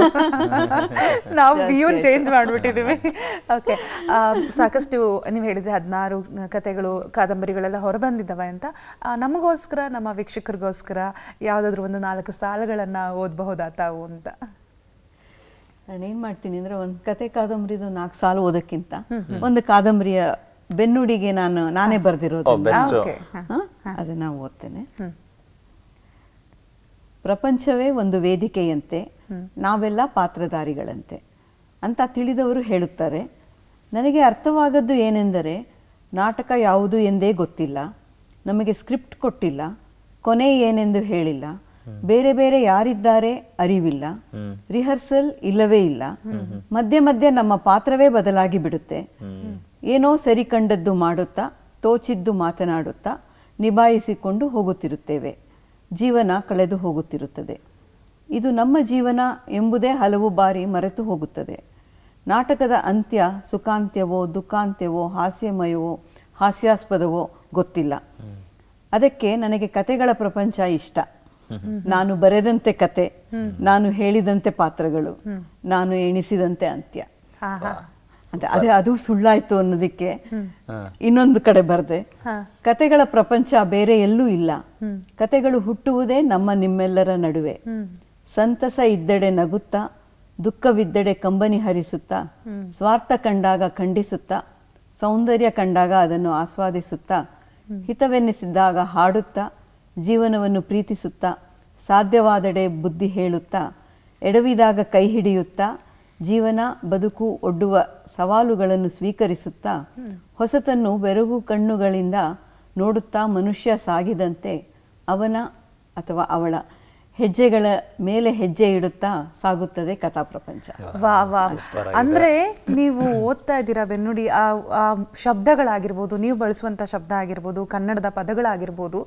ನಾನು ಏನು ಕೇಳ್ಬೇಕಂತ ಅನ್ಕೊಂಡಿದ್ದೀನಿ ಅಂತಂದ್ರೆ ನೀವು ಓದಿದ ಇಂಗ್ಲಿಷ್ ಮೀಡಿಯಂನಲ್ಲಿ ಅಲ್ವಾ? ಕೆಲವೊಂದು ಕನ್ನಡ ಮೀಡಿಯಂನಲ್ಲಿ ಓದಿರೋರು ಕೂಡ ಈ ಥರ ಪದಗಳನ್ನು ಬಳಸೋದಿಲ್ಲ ಪ್ರತಿನಿತ್ಯದಲ್ಲಿ ಆಗಿರ್ಬೋದು. ಆದರೆ ನೀವು ಇಂಗ್ಲೀಷ್ ಮೀಡಿಯಂನಲ್ಲಿ ಓದಿ ಕನ್ನಡದ ಮೇಲೆ ನಿಮಗೆ ಒಲವು ಯಾವಾಗ ಬಂತು ಅನ್ನೋದನ್ನ ಖಂಡಿತ ನೀವು ತಿಳಿಸ್ಕೊಡ್ಲೇಬೇಕು. ಕನ್ನಡದಲ್ಲಿ ನೀವು ಕತೆಗಳನ್ನ ರಚಿಸ್ತೀರಾ ಕಾದಂಬರಿಗಳನ್ನು ಬರೀತೀರಾ ಸಂಭಾಷಣೆಯನ್ನು ಸಂಭಾಷಣೆಯನ್ನ ಬರೀತೀರಾ ಈ ಎಲ್ಲದಕ್ಕೂ ಸ್ಫೂರ್ತಿ ಹೇಗೆ? ನಿಜವಾಗ್ಲೂ ಇದೇನೋ ಪೂರ್ವ ಜನ್ಮದ ಸುಕೃತ ಅಂತ. ಅಂದ್ರೆ ಒಂದು ವಯಸ್ಸಾಗ್ತಾ ಆಗ್ತಾ ವಿ ಸ್ಟಾರ್ಟ್ ಥಿಂಕಿಂಗ್ ಆಫ್ ಏನೋ ದಿಸ್ ಕರ್ಮ ಥಿಯರಿ ಆ ಥರ ಏನೇನೋ ಎಲ್ಲ ಇರಬೇಕು ಅಂತ ಅನ್ಸುತ್ತೆ. ಯಾಕೆಂದರೆ ನನಗೆ ಕನ್ನಡ ಭಾಷೆ ತುಂಬಾ ಇಷ್ಟ. ನಾನು ಅಂದ್ರೆ ನಾನು ಸಾಹಿತ್ಯಿಕವಾಗಿ ಏನೂ ಓದಿಲ್ಲ. ಅಂದ್ರೆ ಒಂದು ಇದಾಗಿ ಇದನ್ನು ಓದಬೇಕು ಇದಾದ್ಮೇಲೆ ಇದು ಆ ಥರದ್ದೇನೂ ಇಲ್ಲ. ಕತೆ ಕಾದಂಬರಿಗಳನ್ನ ತುಂಬಾ ಓದಿದ್ದೀನಿ. ಆದರೆ ನಾನು ಇಂಗ್ಲೀಷಲ್ಲೂ ಅಷ್ಟೇ ಓದಿದ್ದೀನಿ. ಮಾತಾಡೋ ಭಾಷೆ ಮನೆಯಲ್ಲಿ ಮಾತಾಡೋ ಭಾಷೆ ಕನ್ನಡ. ನನ್ನ ಪರಿಸರ ಭಾಷೆ ಕನ್ನಡ. ಹಾಗಾಗಿ ಕನ್ನಡದ ಮೇಲೆ ಪ್ರೀತಿ ಇದೆ ಅಭಿಮಾನ ಇದೆ. ನನಗೆ ಕನ್ನಡತಿ ಅಂತ ಹೇಳ್ಕೊಳ್ಳೋದ್ರೊಳಗೆ ತುಂಬಾ ಖುಷಿ ಇದೆ. ಒಂದೊಂದ್ಸತಿ ಅನ್ಸುತ್ತೆ ಅನ್ಸುತ್ತೆ ಅನ್ನೋದಕ್ಕಿಂತ ನನಗೆ ಒಂದ್ ಯಾವ್ದೋ ಒಂದು ನನ್ನ ಕಾದಂಬರಿ ನಾನು ಅದನ್ನ ಇಂಗ್ಲೀಷಲ್ಲಿ ಕೂಡ ಬರ್ದೆ. ಅಂದ್ರೆ ನಾನೇ ಬರ್ದೆ ಬಟ್ ನನಗೆ ಬರೆಯೋ ಮುಗಿಸೋ ಹೊತ್ತಿಗೆ ನನಗೆ ಸಮಾಧಾನ ಆಗ್ಲಿಲ್ಲ. ಯಾಕಂದ್ರೆ ಇಂಗ್ಲೀಷಲ್ಲಿ ಬರೆದ್ರೆ ಇನ್ನ ಮೋರ್ ವೈಡರ್ ಆಡಿಯನ್ಸ್ ಅಂತ. ನಿಂಗೆ ಇಂಗ್ಲಿಷು ಬರುತ್ತಲ್ಲ ಇಷ್ಟೊಂದೆಲ್ಲ ಓದ್ತೀಯ ಯಾಕೆ ಇಂಗ್ಲೀಷಲ್ಲಿ ಕೂಡ ಬರಿಬಾರ್ದು ಅಂತ. ಆದ್ರೆ ಕೆಲವೆಲ್ಲ ನೀವು ಒಳಗಿಂದ ಬರಬೇಕು. ಅನುಭವ ನನಗೆ ಅನುಭವ ಒಳಗಿಂದ ಬರೋದು ಕನ್ನಡದಲ್ಲೇ. ಕನ್ನಡದಲ್ಲೇ. ಹಾಗಾಗಿ ಅದು ಕನ್ನಡದಲ್ಲೇ ಹೊರಬರಲಿಕ್ಕೆ ಸಾಧ್ಯ. ಇಂಗ್ಲೀಷಲ್ಲಿ ಒಂದು ಎಫರ್ಟ್ ಹಾಕಿ ಬರಿಬೋದು. ಅವಾಗ ಲೇಖನ ಆಗತ್ತಾಗ್ಲಿ ಕತೆ ಕಾದಂಬರಿ ಆಗಲ್ಲ. ನನಗೆ ಸುಮಾರು ಕ ಇಂಗ್ಲೀಷಲ್ಲಿ ಬರೆಯೋ ನಮ್ಮ ಲೇಖಕರದು ಒಂದು ನಂಗೆ ಅಲ್ಲೆಲ್ಲೋ ಅದು ಎಳೆಯುತ್ತೆ. ಓನ್ಲಿ ಆರ್ ಕೆ ನಾರಾಯಣ್ ನನ್ನ ಪ್ರಕಾರ ಬೆಸ್ಟ್ ಅದರೊಳಗೆ. ಫುಲ್ಲು ಕನ್ನಡದ್ದೇ ವಾತಾವರಣ ಫುಲ್ಲು ಇದೆ ತಮಿಳು ಕನ್ನಡದ ವಾತಾವರಣ ಅವ್ರ ಕತೆಗಳಲ್ಲಿ ಅದನ್ನ ಇಂಗ್ಲೀಷಲ್ಲಿ ಅವರು ತುಂಬಾ ಚೆಂದಾಗಿ ಹೇಳಿದ್ದಾರೆ. ಆದ್ರೆ ಸುಮಾರು ಜನ ರಿಯಲ್ ಇಂಗ್ಲಿಷ್ ಲಿಟ್ರೇಚರ್ ಓದೋ ಅಂಥವ್ರಿಗೆ ತುಂಬಾ ಮೀಡಿಯೋಕರ್ ಅಂತ ಅನ್ಸೋ ಸಾಧ್ಯತೆನೂ ಇದೆ ಅಂತ ಅನ್ಸುತ್ತೆ. ಹಾಗಾಗಿ ನನಗೆ ಕನ್ನಡ ಪ್ರೀತಿ ಹಾಗಾಗಿ ಕನ್ನಡದಲ್ಲಿ ಬರ್ದೆ ಇನ್ಯಾವುದು ಹೆಚ್ಚಿನ ಓಕೆ ನಾವು ನಾ ಕೇಳಬೇಕು ಅನ್ನೋ ಪ್ರಶ್ನೆ ನೀವೇ ಹೇಳ್ಬಿಟ್ರಿ ಮೇಡಮ್ ಉತ್ತರನ ನಾನು ಅನ್ಕೊಂಡೆ. ಯಾಕೆಂದ್ರೆ ಇಂಗ್ಲೀಷ್ನಲ್ಲಿ ಯಾವುದು ಪ್ರಯತ್ನ ಅಥವಾ ನೀವೇ ಬರೆದಿದ್ದೀನಿಲ್ವಾ ಅಂತ. ಬಟ್ ನೀವು ಹೇಳಿದ ಮಾತು ಒಂದು ಕುವೆಂಪು ಅವರಿಗೆ ಕನೆಕ್ಟ್ ಆಗುತ್ತೆ ಮೇಡಮ್. ಕುವೆಂಪು ಆರಂಭದಲ್ಲಿ ಇಂಗ್ಲೀಷ್ನಲ್ಲೇ ಬರಿತಾ ಇದ್ರು ಕೂಡ ಅವ್ರ ಗುರುಗಳೊಬ್ರು ಅವ್ರನ್ನ ಎಚ್ಚರಿಸ್ತಾರೆ. ನೀನು ನೀನು ಎಲ್ಲಿ ಅನುಭವ ತಗೊಳ್ತೀಯಾ? ಆ ನಿನ್ನ ಮಾತೃಭಾಷೆಯಲ್ಲಿ ಬರಿ ಅಂತ. ಸೊ ಅಲ್ಲಿಂದ ಅವ್ರದ್ದು ಹಾದಿನೇ ಬದಲಾಗೋಗ್ಬಿಡುತ್ತೆ. ಸೊ ನಿಮ್ಮ ಥಾಟ್ ಪ್ರೊಸೆಸ್ಸಲ್ಲೂ ಅದೇ ಇದೆ. ಕೇಳಿ ಖುಷಿ ಆಗುತ್ತೆ. ನನಗೂ ಖುಷಿ ಆಯ್ತು. ಸರ್ ಇನ್ ಇನ್ನೊಂದು ಇಂಟ್ರೆಸ್ಟಿಂಗ್ ಪಾಯಿಂಟ್ ಕೇಳ್ಬೇಕು ನಿಮ್ಮನ್ನ ಮೇ ಬಿ ಇದು ನಿಮ್ಮನ್ನ ಪ್ರತಿ ಸಲ ಬೇರೆಯವರೆಲ್ಲ ಕೇಳಿ ನಿಮಗೆ ಮುಜುಗರಕ್ಕೆ ಒಳಪಡಿಸಿರ್ಬೋದು. ನಾನು ಕೇಳ್ತೀನಿ. ಯಾಕಂತ ಹೇಳಿದ್ರೆ ಸಂಭಾಷಣೆ ಸೀರಿಯಲ್ಗಳಿಗೆ ಬರಿತಾ ಇದ್ದಿದ್ದು ಅಂತ. ಯಾರು ನಿಮ್ಮನ್ನು ಆಫರ್ ಮಾಡಲಿಲ್ಲ ಆ್ಯಕ್ಟ್ ಮಾಡಿ ಆ್ಯಕ್ಟ್ ಮಾಡಿ ಅಂತ ಅಂದ್ಬಿಟ್ಟು. ಹಿಂಗಂದ್ರೆ ಸಣ್ಣ ಪುಟ್ಟದಾಗ ನಿಮ್ಮನ್ನು ನೋಡಿದ್ದೀವಿ ಬಟ್ ಒಂದು ಮೇಜರ್ ಆಗಿ ಲೀಡ್ ಕ್ಯಾರೆಕ್ಟ್ರಲ್ಲಿ ಮೇಡಮ್ ಆ್ಯಕ್ಟ್ ಮಾಡಿ. ನಿಮ್ಗೊಂದು ಆಫರ್ ಇದೆ ಅಂತ ಕೇಳಿಲ್ಲ ಕೇಳಿದ್ದಾರೆ ಬಟ್ ನಾನು ಅದೇ ನಾನು ಅನ್ಕೋತೀನಲ್ಲ acting is a big talent ನಾನು ಇನ್ನ ಇನ್ನ ಹಿಂದಕ್ಕೆ ಹೋಗ್ಬೋದು ನೆನಪು ಇದೆ ನೆನಪು ಈ ಶುಭೋದಯ ನನಗೆ ಏನು ಮಾಡ್ತಾ ಇದೆ ಅಂದ್ರೆ ನಿಮ್ಮ ಪ್ರಶ್ನೆಗಳು ನನ್ನನ್ನು ಹಿಂದಕ್ಕೆ ಹಿಂದಕ್ಕೂ ಕರ್ಕೊಂಡು ಹೋಗ್ತಾ ಇದೆ. ಅಂದರೆ ಅಂದ್ರೆ ಎಲ್ಲಾನು ಏನಂದ್ರೆ ಮಾಡದೇ ಇರೋದೆಲ್ಲನೂ ಹೊಸ ಖುಷಿಯ ಕೊಡೋ ನೆನಪು. ಮಾಡಿಬಿಟ್ಟಿದ್ರೆ ಅದು ಏನಾಗ್ತಾ ಇತ್ತು ಗೊತ್ತಿಲ್ಲ. ಶಂಕರ್ ನಾಗ್ ಅವರು ಗೀತಾ ಫಿಲ್ಮ್ ಮಾಡಿದಾಗ ಅವರ ಸ್ನೇಹಿತೆ ವನಮಾಲಾ ವಿಶ್ವನಾಥ್ ನ್ಯೂಸ್ ರೀಡರ್. ಅವರು ನಮ್ಮನೆ ಮಾಡಿ ಮೇಲೆ ಇದ್ದವರು. ಓಕೆ. ಸೊ ಅವ್ರನ್ನ ಭೇಟಿ ಆಗಕ್ ಬಂದಿದ್ರು ಅರುಂಧತಿ ಶಂಕರ್ ನಾಗು. ಅವಾಗ ಗೀತಾದು ಸ್ಕ್ರಿಪ್ಟಿಂಗ್ ನಡೀತಾ ಇತ್ತು ಮೂವಿದು ಅವಾಗ ನನ್ನನ್ನ ಇಂಟ್ರೊಡ್ಯೂಸ್ ಮಾಡ್ಕೊಟ್ರೆ ಅರುಂಧತಿ ರೇಗ್ಸಿದ್ರು ಶಂಕರ್ ನೋಡಿ ನಿಮ್ ಗೀತಾ ಆಗ್ತಾಳ ನನ್ಗೆ ಅಂತ. ಓಕೆ. ನನಗೆ ಒಂಥರ ಸೋ ಎಕ್ಸೈಟೆಡ್ ಅದು ಒಂಥರ. ಬಟ್ ಆಗ್ಲಿಲ್ಲ ಮಾಡ್ಲಿಲ್ಲ. ಅದ್ ಹಂಗ ಹೇಳಿದ್ರು ಶಂಕರ್ನಾಗ್ ಕೂಡ ಏನು ಮಾಡ್ತೀರಾ ಅಂತ? ಇಲ್ಲ. ಗಾಬರಿ ಅವರು ನೋಡನೆ ಇಲ್ಲ ಅಂತ. ಅಂದ್ರೆ ನನ್ಗೆ ಯಾವಾಗ್ಲೂ ಖುಷಿ. ಅಂದ್ರೆ ಆ ಮಾಡ್ಬಿಟ್ಟಿದ್ರೆ ಗೀತಾ ಆಸ್ ಗೀತಾ ಇನ್ ಗೀತಾ, ಅಂತ ಆಗೋಗಿರೋದು. ಆತರ ತರ ಅಂದ್ರೆ ಅಲ್ಲಿಂದ ಅದು ಬರುತ್ತೆ ಆಫರ್ ಒಂದು ಬರುತ್ತೆ. ನಾ ಮಾಡಿಲ್ಲ. ಒಂದ್ ಯಾಕೆ ನಾಟಕಗಳಲ್ಲಿ ಕೆಲವು ಮಾಡಿದ್ದೆ ಮುಂಚೆ. ಬಟ್ ಯಾವುದು ಹಿಡಿಲಿಲ್ಲ ನನ್ನ. ಅಂದ್ರೆ ಆ ಸ್ಟೇಜು ಅಟ್ರಾಕ್ಷನ್ ಏನು ಅಷ್ಟು ಇರ್ಲಿಲ್ಲ. ಇವಾಗ್ಲೂ ಬರ್ತಾ ಇರುತ್ತೆ ಆಫರ್ ಇವಾಗ ಏನಂದ್ರೆ ಅಮ್ಮ ಮಾಡ್ತೀರಾ? ನಾ ಹೇಳಿದೆ ಹೀರೋಯಿನ್ ಆದಾಗ್ಲೇ ಮಾಡ್ಲಿಲ್ಲ ಅಮ್ಮನ ಯಾಕೆ ಮಾಡ್ಲಿಲ್ಲ? ಅಂದ್ರೆ ಇವಾಗ ಕೇಳ್ತಾರಲ್ಲ ಹೀರೋಯಿನ್ಗೆ ಅಮ್ಮ ಮಾಡಿ ಅಂತ ಅದೇ ಅಲ್ವಾ? ಹೀರೋಗಮ್ಮ ಹೀರೋಯಿನ್ಗಮ್ಮ ಅವಾಗ ತಕ್ಷಣ ನಂಗೆ ಅಯ್ಯಯ್ಯೋ ಹೀರೋಯಿನ್ನೇ ಮಾಡೋ ಟೈಮಲ್ಲೇ ನೋ ಅನ್ನೋ ಅಷ್ಟು ಇದಿತ್ತು ನನ್ಗೆ. ಅಂದ್ರೆ ನೋ ಅನ್ಬೇಕು ಅಂತಂದ್ರೆ ಎಸ್ ಅಂದ್ಬಿಟ್ರೆ ಏನಾಗ್ತಿತ್ತೋ ಗೊತ್ತಿಲ್ಲ. ಆದ್ರೆ ನೋ ಅಂದಿದ್ದು ನನ್ನ ಜೀವನ ಇನ್ನೊಂದು ಹಾದಿ. ಇಟ್ಸ್ ಆಲ್ವೇಸ್ ಕ್ರಾಸ್ ರೋಡ್ಸ್ ಅಲ್ಲ ನಮ್ಮ ಜೀವನದಲ್ಲಿ ಹೀಗೆ ಹೀಗೆ ಹೋಗ್ತಾ ಇರ್ತೀವಿ. ಇನ್ನೊಂದು ಇನ್ನೊಂದು ಹಾದಿಗಳು ಬೇರೆ ಇನ್ಯಾವುದೋ ಹಾದಿ ಓಪನ್ ಆಗೈತೆ ಅದು ನಿರಾಕರಿಸಿದಾಗ ಇನ್ನೊಂದು ಹೊಸ ಅದು ಅವಾಗ ನಾನು ಲೇಖಕಿನೇ ಆಗ್ತಿರ್ಲಿಲ್ವೇನೋ? ಗೊತ್ತಿಲ್ಲ. ಇದನ್ನ ಹಿಂದಿಕ್ ಹೋಗ್ತಿತ್ತೋ ಏನೋ? ಇಲ್ಲದ್ರೆ ಒಂದು ಫ್ಲಾಪ್ ನಟಿಯಾಗಿ ತಿರ್ಗಿ ಇನ್ನೇನ ಮಾಡಬಹುದಿತ್ತು ಅದು ಗೊತ್ತಿಲ್ಲ. ಬಟ್ ನಟನೆ ಒಂದು ಸ್ಕಿಲ್. ಸ್ಕಿಲ್ ನಾನು ಎಲ್ರಿಗೂ ಅದೇ ಹೇಳ್ತೀನಿ. ಇವಾಗ ನೀವು ನನ್ನನ್ನ ಗೀತಾ ಬಿಯು ಅಂತ ಇಲ್ಲಿ ಕೂರಿಸಿದೀರಾ? ಮಾತಾಡೋ ಅಂದ್ರೆ ನೀವು ಮುಂದಿನ ಪ್ರಶ್ನೆ ಕೇಳೋರ್ಗು ಈ ಪ್ರಶ್ನೆಗೆ ಉತ್ತರ ಹೇಳ್ತಾನೆ ಇರ್ತೇನೆ. ಸೊ ಆದ್ರೆ ನನಗೆ ಒಂದು ಇಷ್ಟದ ಡೈಲಾಗು ನಾನೇ ಬರ್ದಿರೋ ಡೈಲಾಗ್ನ ಗೀತಮ್ಮ ಬರ್ದಿದ್ದೀರ ರೈಡರ್ ಆಗು ಹೆಂಗೆ ಎಮೋಟ್ ಮಾಡ್ಬೇಕು ಹೇಳ್ಬಿಡಿ ನೀವು ನೋಡೋಣ ಅಂದ್ರೆ ಖಂಡಿತ ಸಾಧ್ಯ ಇಲ್ಲ ನನಗೆ it's a talent acting is a talent so actor ಒಂದ್ ಸ್ವಲ್ಪ ಚಂದ ಕಾಣಿಸಿದ ತಕ್ಷಣ ಬರ್ಲಿ ಸ್ಕ್ರೀನ್ ಮೇಲೆ ಅನ್ನೋ ಆಸೆ ಪಾಪ ಇರುತ್ತೆ. ಬಟ್ ನಮ್ಮ ಲಿಮಿಟ್ಸ್ ನಮಗೆ ಗೊತ್ತಿರಬೇಕು ಅಂತ. ಅಂದ್ರೂ ನೀವು ತೆರೆ ಮೇಲೆ ಕಾಣಿಸ್ಕೊಂಡಿದ್ದೀರಾ? ಜಡ್ಜ್ ಆಗಿದ್ದೀರಾ? ನೋಡ್ತಾ ಇದ್ರೆ ಇವ್ರು ರಿಯಲ್ ಜಡ್ಜ್ ಏನೋ ಅಂತ ಅನ್ಸುತ್ತೆ. ಸೊ ಅದ್ರ ಸ್ವಲ್ಪ ನಗು ಕಮ್ಮಿ ಮಾಡ್ಕೊಳ್ಳಿ ಅಂತ ನಂಗೆ ಎಲ್ರು ಜಡ್ಜ್ ಆಗ್ಬಿಟ್ಟು. ಸ್ವಲ್ಪ ಗಂಭೀರವಾಗಿರ್ಬೇಕು ನೀನ್ ಹಿಂಗ್ ನಗ್ತಾನೆ ಇದ್ರೆ ಎಂತ ಜಡ್ಜ್ ಅಂತ. ಬಟ್ ಅಂದ್ರೆ ಇವಾಗ ನಮ್ಗೆ ಗೊತ್ತಲ್ವಾ ಜಡ್ಜ್ ಅಂದ್ರೆ ಸ್ಟ್ರಿಕ್ಟ್ ಆಗಿರ್ತಾರೆ ಅವ್ರ ಮುಖದಲ್ಲಿ ನಗು ಇರಲ್ಲ ತುಂಬಾ ಸೀರಿಯಸ್ ಆಗಿರ್ತಾರೆ. ಆ ಕಲ್ಪನೆಯಲ್ಲೇ ನಾವ್ ಇರೋದ್ರಿಂದ ಈ ತರ ನಗು ಮುಖ ಜಡ್ಜ್ ಹೇಗೆ ಅಕ್ಸೆಪ್ಟ್ ಮಾಡೋದು ಅಂತ. ಅಂದ್ರೆ ಆದಷ್ಟು ಗಂಭೀರವಾಗಿ ಮಾಡಿದೀನಿ ನಮ್ಮ? ನನಗೆ ಆಕ್ಚುಲಿ ಯಾಕೆಂದ್ರೆ ಏನು ನಾಪ್ಕ ಇಟ್ಕೋಬೇಕಾಗಿಲ್ಲ. ಜಡ್ಜ್ಮೆಂಟ್ ಓದೋದು ನಿನ್ ಜಡ್ಜ್ಮೆಂಟ್ ಹೇಳಲ್ಲ. ಸೊ ಹಾಗಾಗಿ ನಾನು ಎಲ್ರಿಗೂ ಅದೇ ಹೇಳ್ತೀನಿ ದೊಡ್ಡ ರೋಲ್ ಆಫ್ ದೊಡ್ಡ ರೋಲ್ ಮೇಡಮ್ ಎಂಟು ದಿನ ಶೂಟಿಂಗ್ ಇರುತ್ತೆ ಅಂತಾರೆ ಬೇಡಪ್ಪ ದೊಡ್ಡ ರೋಲ್ಗೆ ಫ್ರೆಂಡ್ ಇದ್ರೆ ಕರೀರಿ ಬರ್ತೀನಿ. ಆ ದೊಡ್ಡ ರೋಲ್ಗೆ ಏನೋ ಒಂದು ಯಾವ್ದೋ ಸ್ನೇಹಿತೆ ಬಂದು ಹೋಗೋದು ಆ ತರ ಇದ್ರೆ ಕರೀರಿ ನನ್ಗೆ ಬರಲ್ಲ ಅಂತಿಲ್ಲ. ಬರ್ತೀನಿ ಆದ್ರೆ ಮೇಜರ್ ರೋಲ್ ಅಂದ್ರೆ ನಂಗೆ ಟೈಮ್ ಅಡ್ಜಸ್ಟ್ಮೆಂಟು ಕಷ್ಟ ಜೊತೆಗೆ ಬರ್ದಿರೋದು ಕೆಲಸ ಒಪ್ಕೊಂಡ್ಬಿಟ್ಟು ಅವ್ರಿಗೂ ತೊಂದರೆ ನಂಗೂ ತೊಂದರೆ. ತುಂಬಾ ಒಳ್ಳೆ ಮಾತುಗಳು ಮೇಡಮ್. ಆಮೇಲೆ ಹೇಳಿದ್ರಿ ಅಂದ್ರೆ ಡೈಲಾಗ್ಗಳು ಪೇಜ್ ಗಟ್ಟಲೆ ಅದೆಲ್ಲ ಇರೋದನ್ನ ನಾನೇ ಬರ್ದಿದ್ರು ಅದನ್ನ ನಾನು ಹೇಳಕ್ ಕಷ್ಟ ಇದೆಲ್ಲ ಅಂತ. ಆದ್ರೆ ನೀವು ಪ್ರಶ್ನೆ ನೆಕ್ಸ್ಟ್ ಕೇಳೋವರೆಗೂ ಮಾತಾಡ್ತಾನೆ ಇರ್ತೀನಿ ಬೇಕಾದ್ರೆ ಅಂತ ಹೇಳಿದ್ರಿ. ಅಂದ್ರೆ ಇಲ್ಲಿ ಕೂರ್ಸಿರೋದನ್ನ.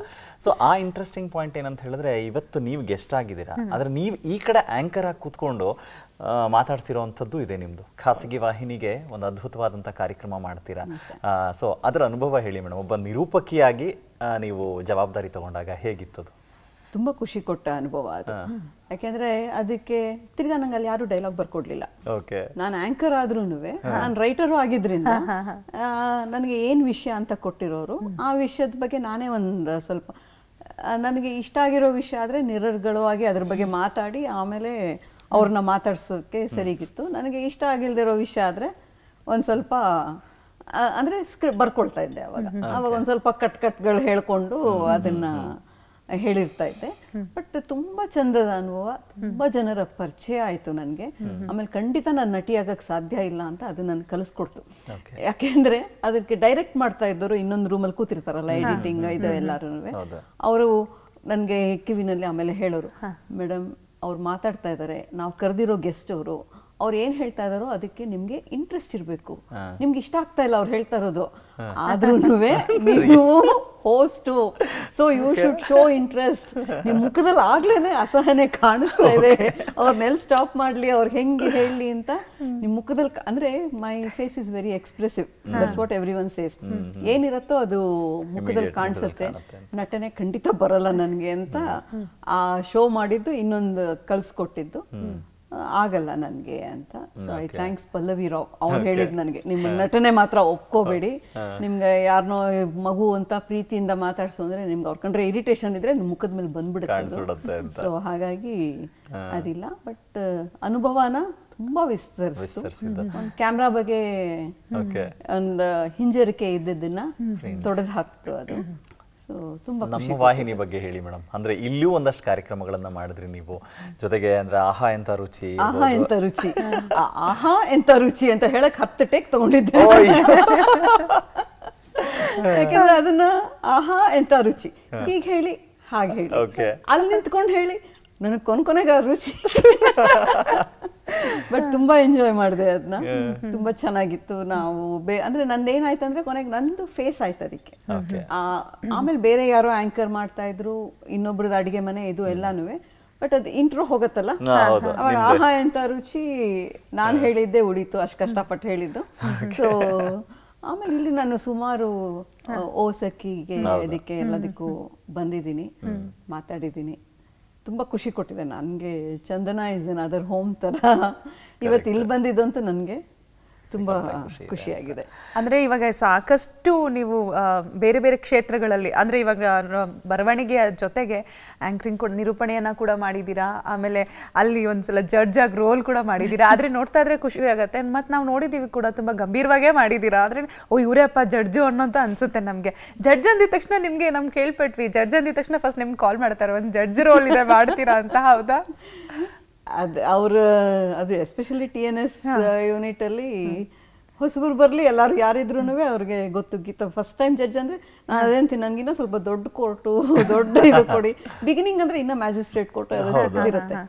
ಇಲ್ಲ ಫಸ್ಟ್ ಗೀತನ್ ಕರೀರಿ ಅಂತಾರೆ ಕರೆದು ಬಿಡ್ತಾರೆ ಹಾಗೆ ಹೋಗ್ಬಿಡುತ್ತೆ ಒಂದೇ ದಿವಸದಲ್ಲಿ ನಂಗೆ ಇನ್ನೊಂದು ಸ್ವಲ್ಪ ಜಾಸ್ತಿ ಕೊಡಿ ಸರ್ ಜಡ್ಜ್ ರೋಲ್ ಅಂತ ಕೊಟ್ಟಿಲ್ಲ ಅವ್ರಿನ್ನ ನನ್ಗೆ. ಅಂದ್ರೆ ನಮ್ಮ ಕಲಾವಿದರಿಗೆ ಸುಮಾರು ಜನಕ್ಕೆ ತುಂಬಾ ಇಷ್ಟ ಆಗುವಂತ ಒಂದು ನಿರ್ದೇಶಕರು ಅಂದ್ರೆ ಸೀತಾರಾಮ್ ಸರ್.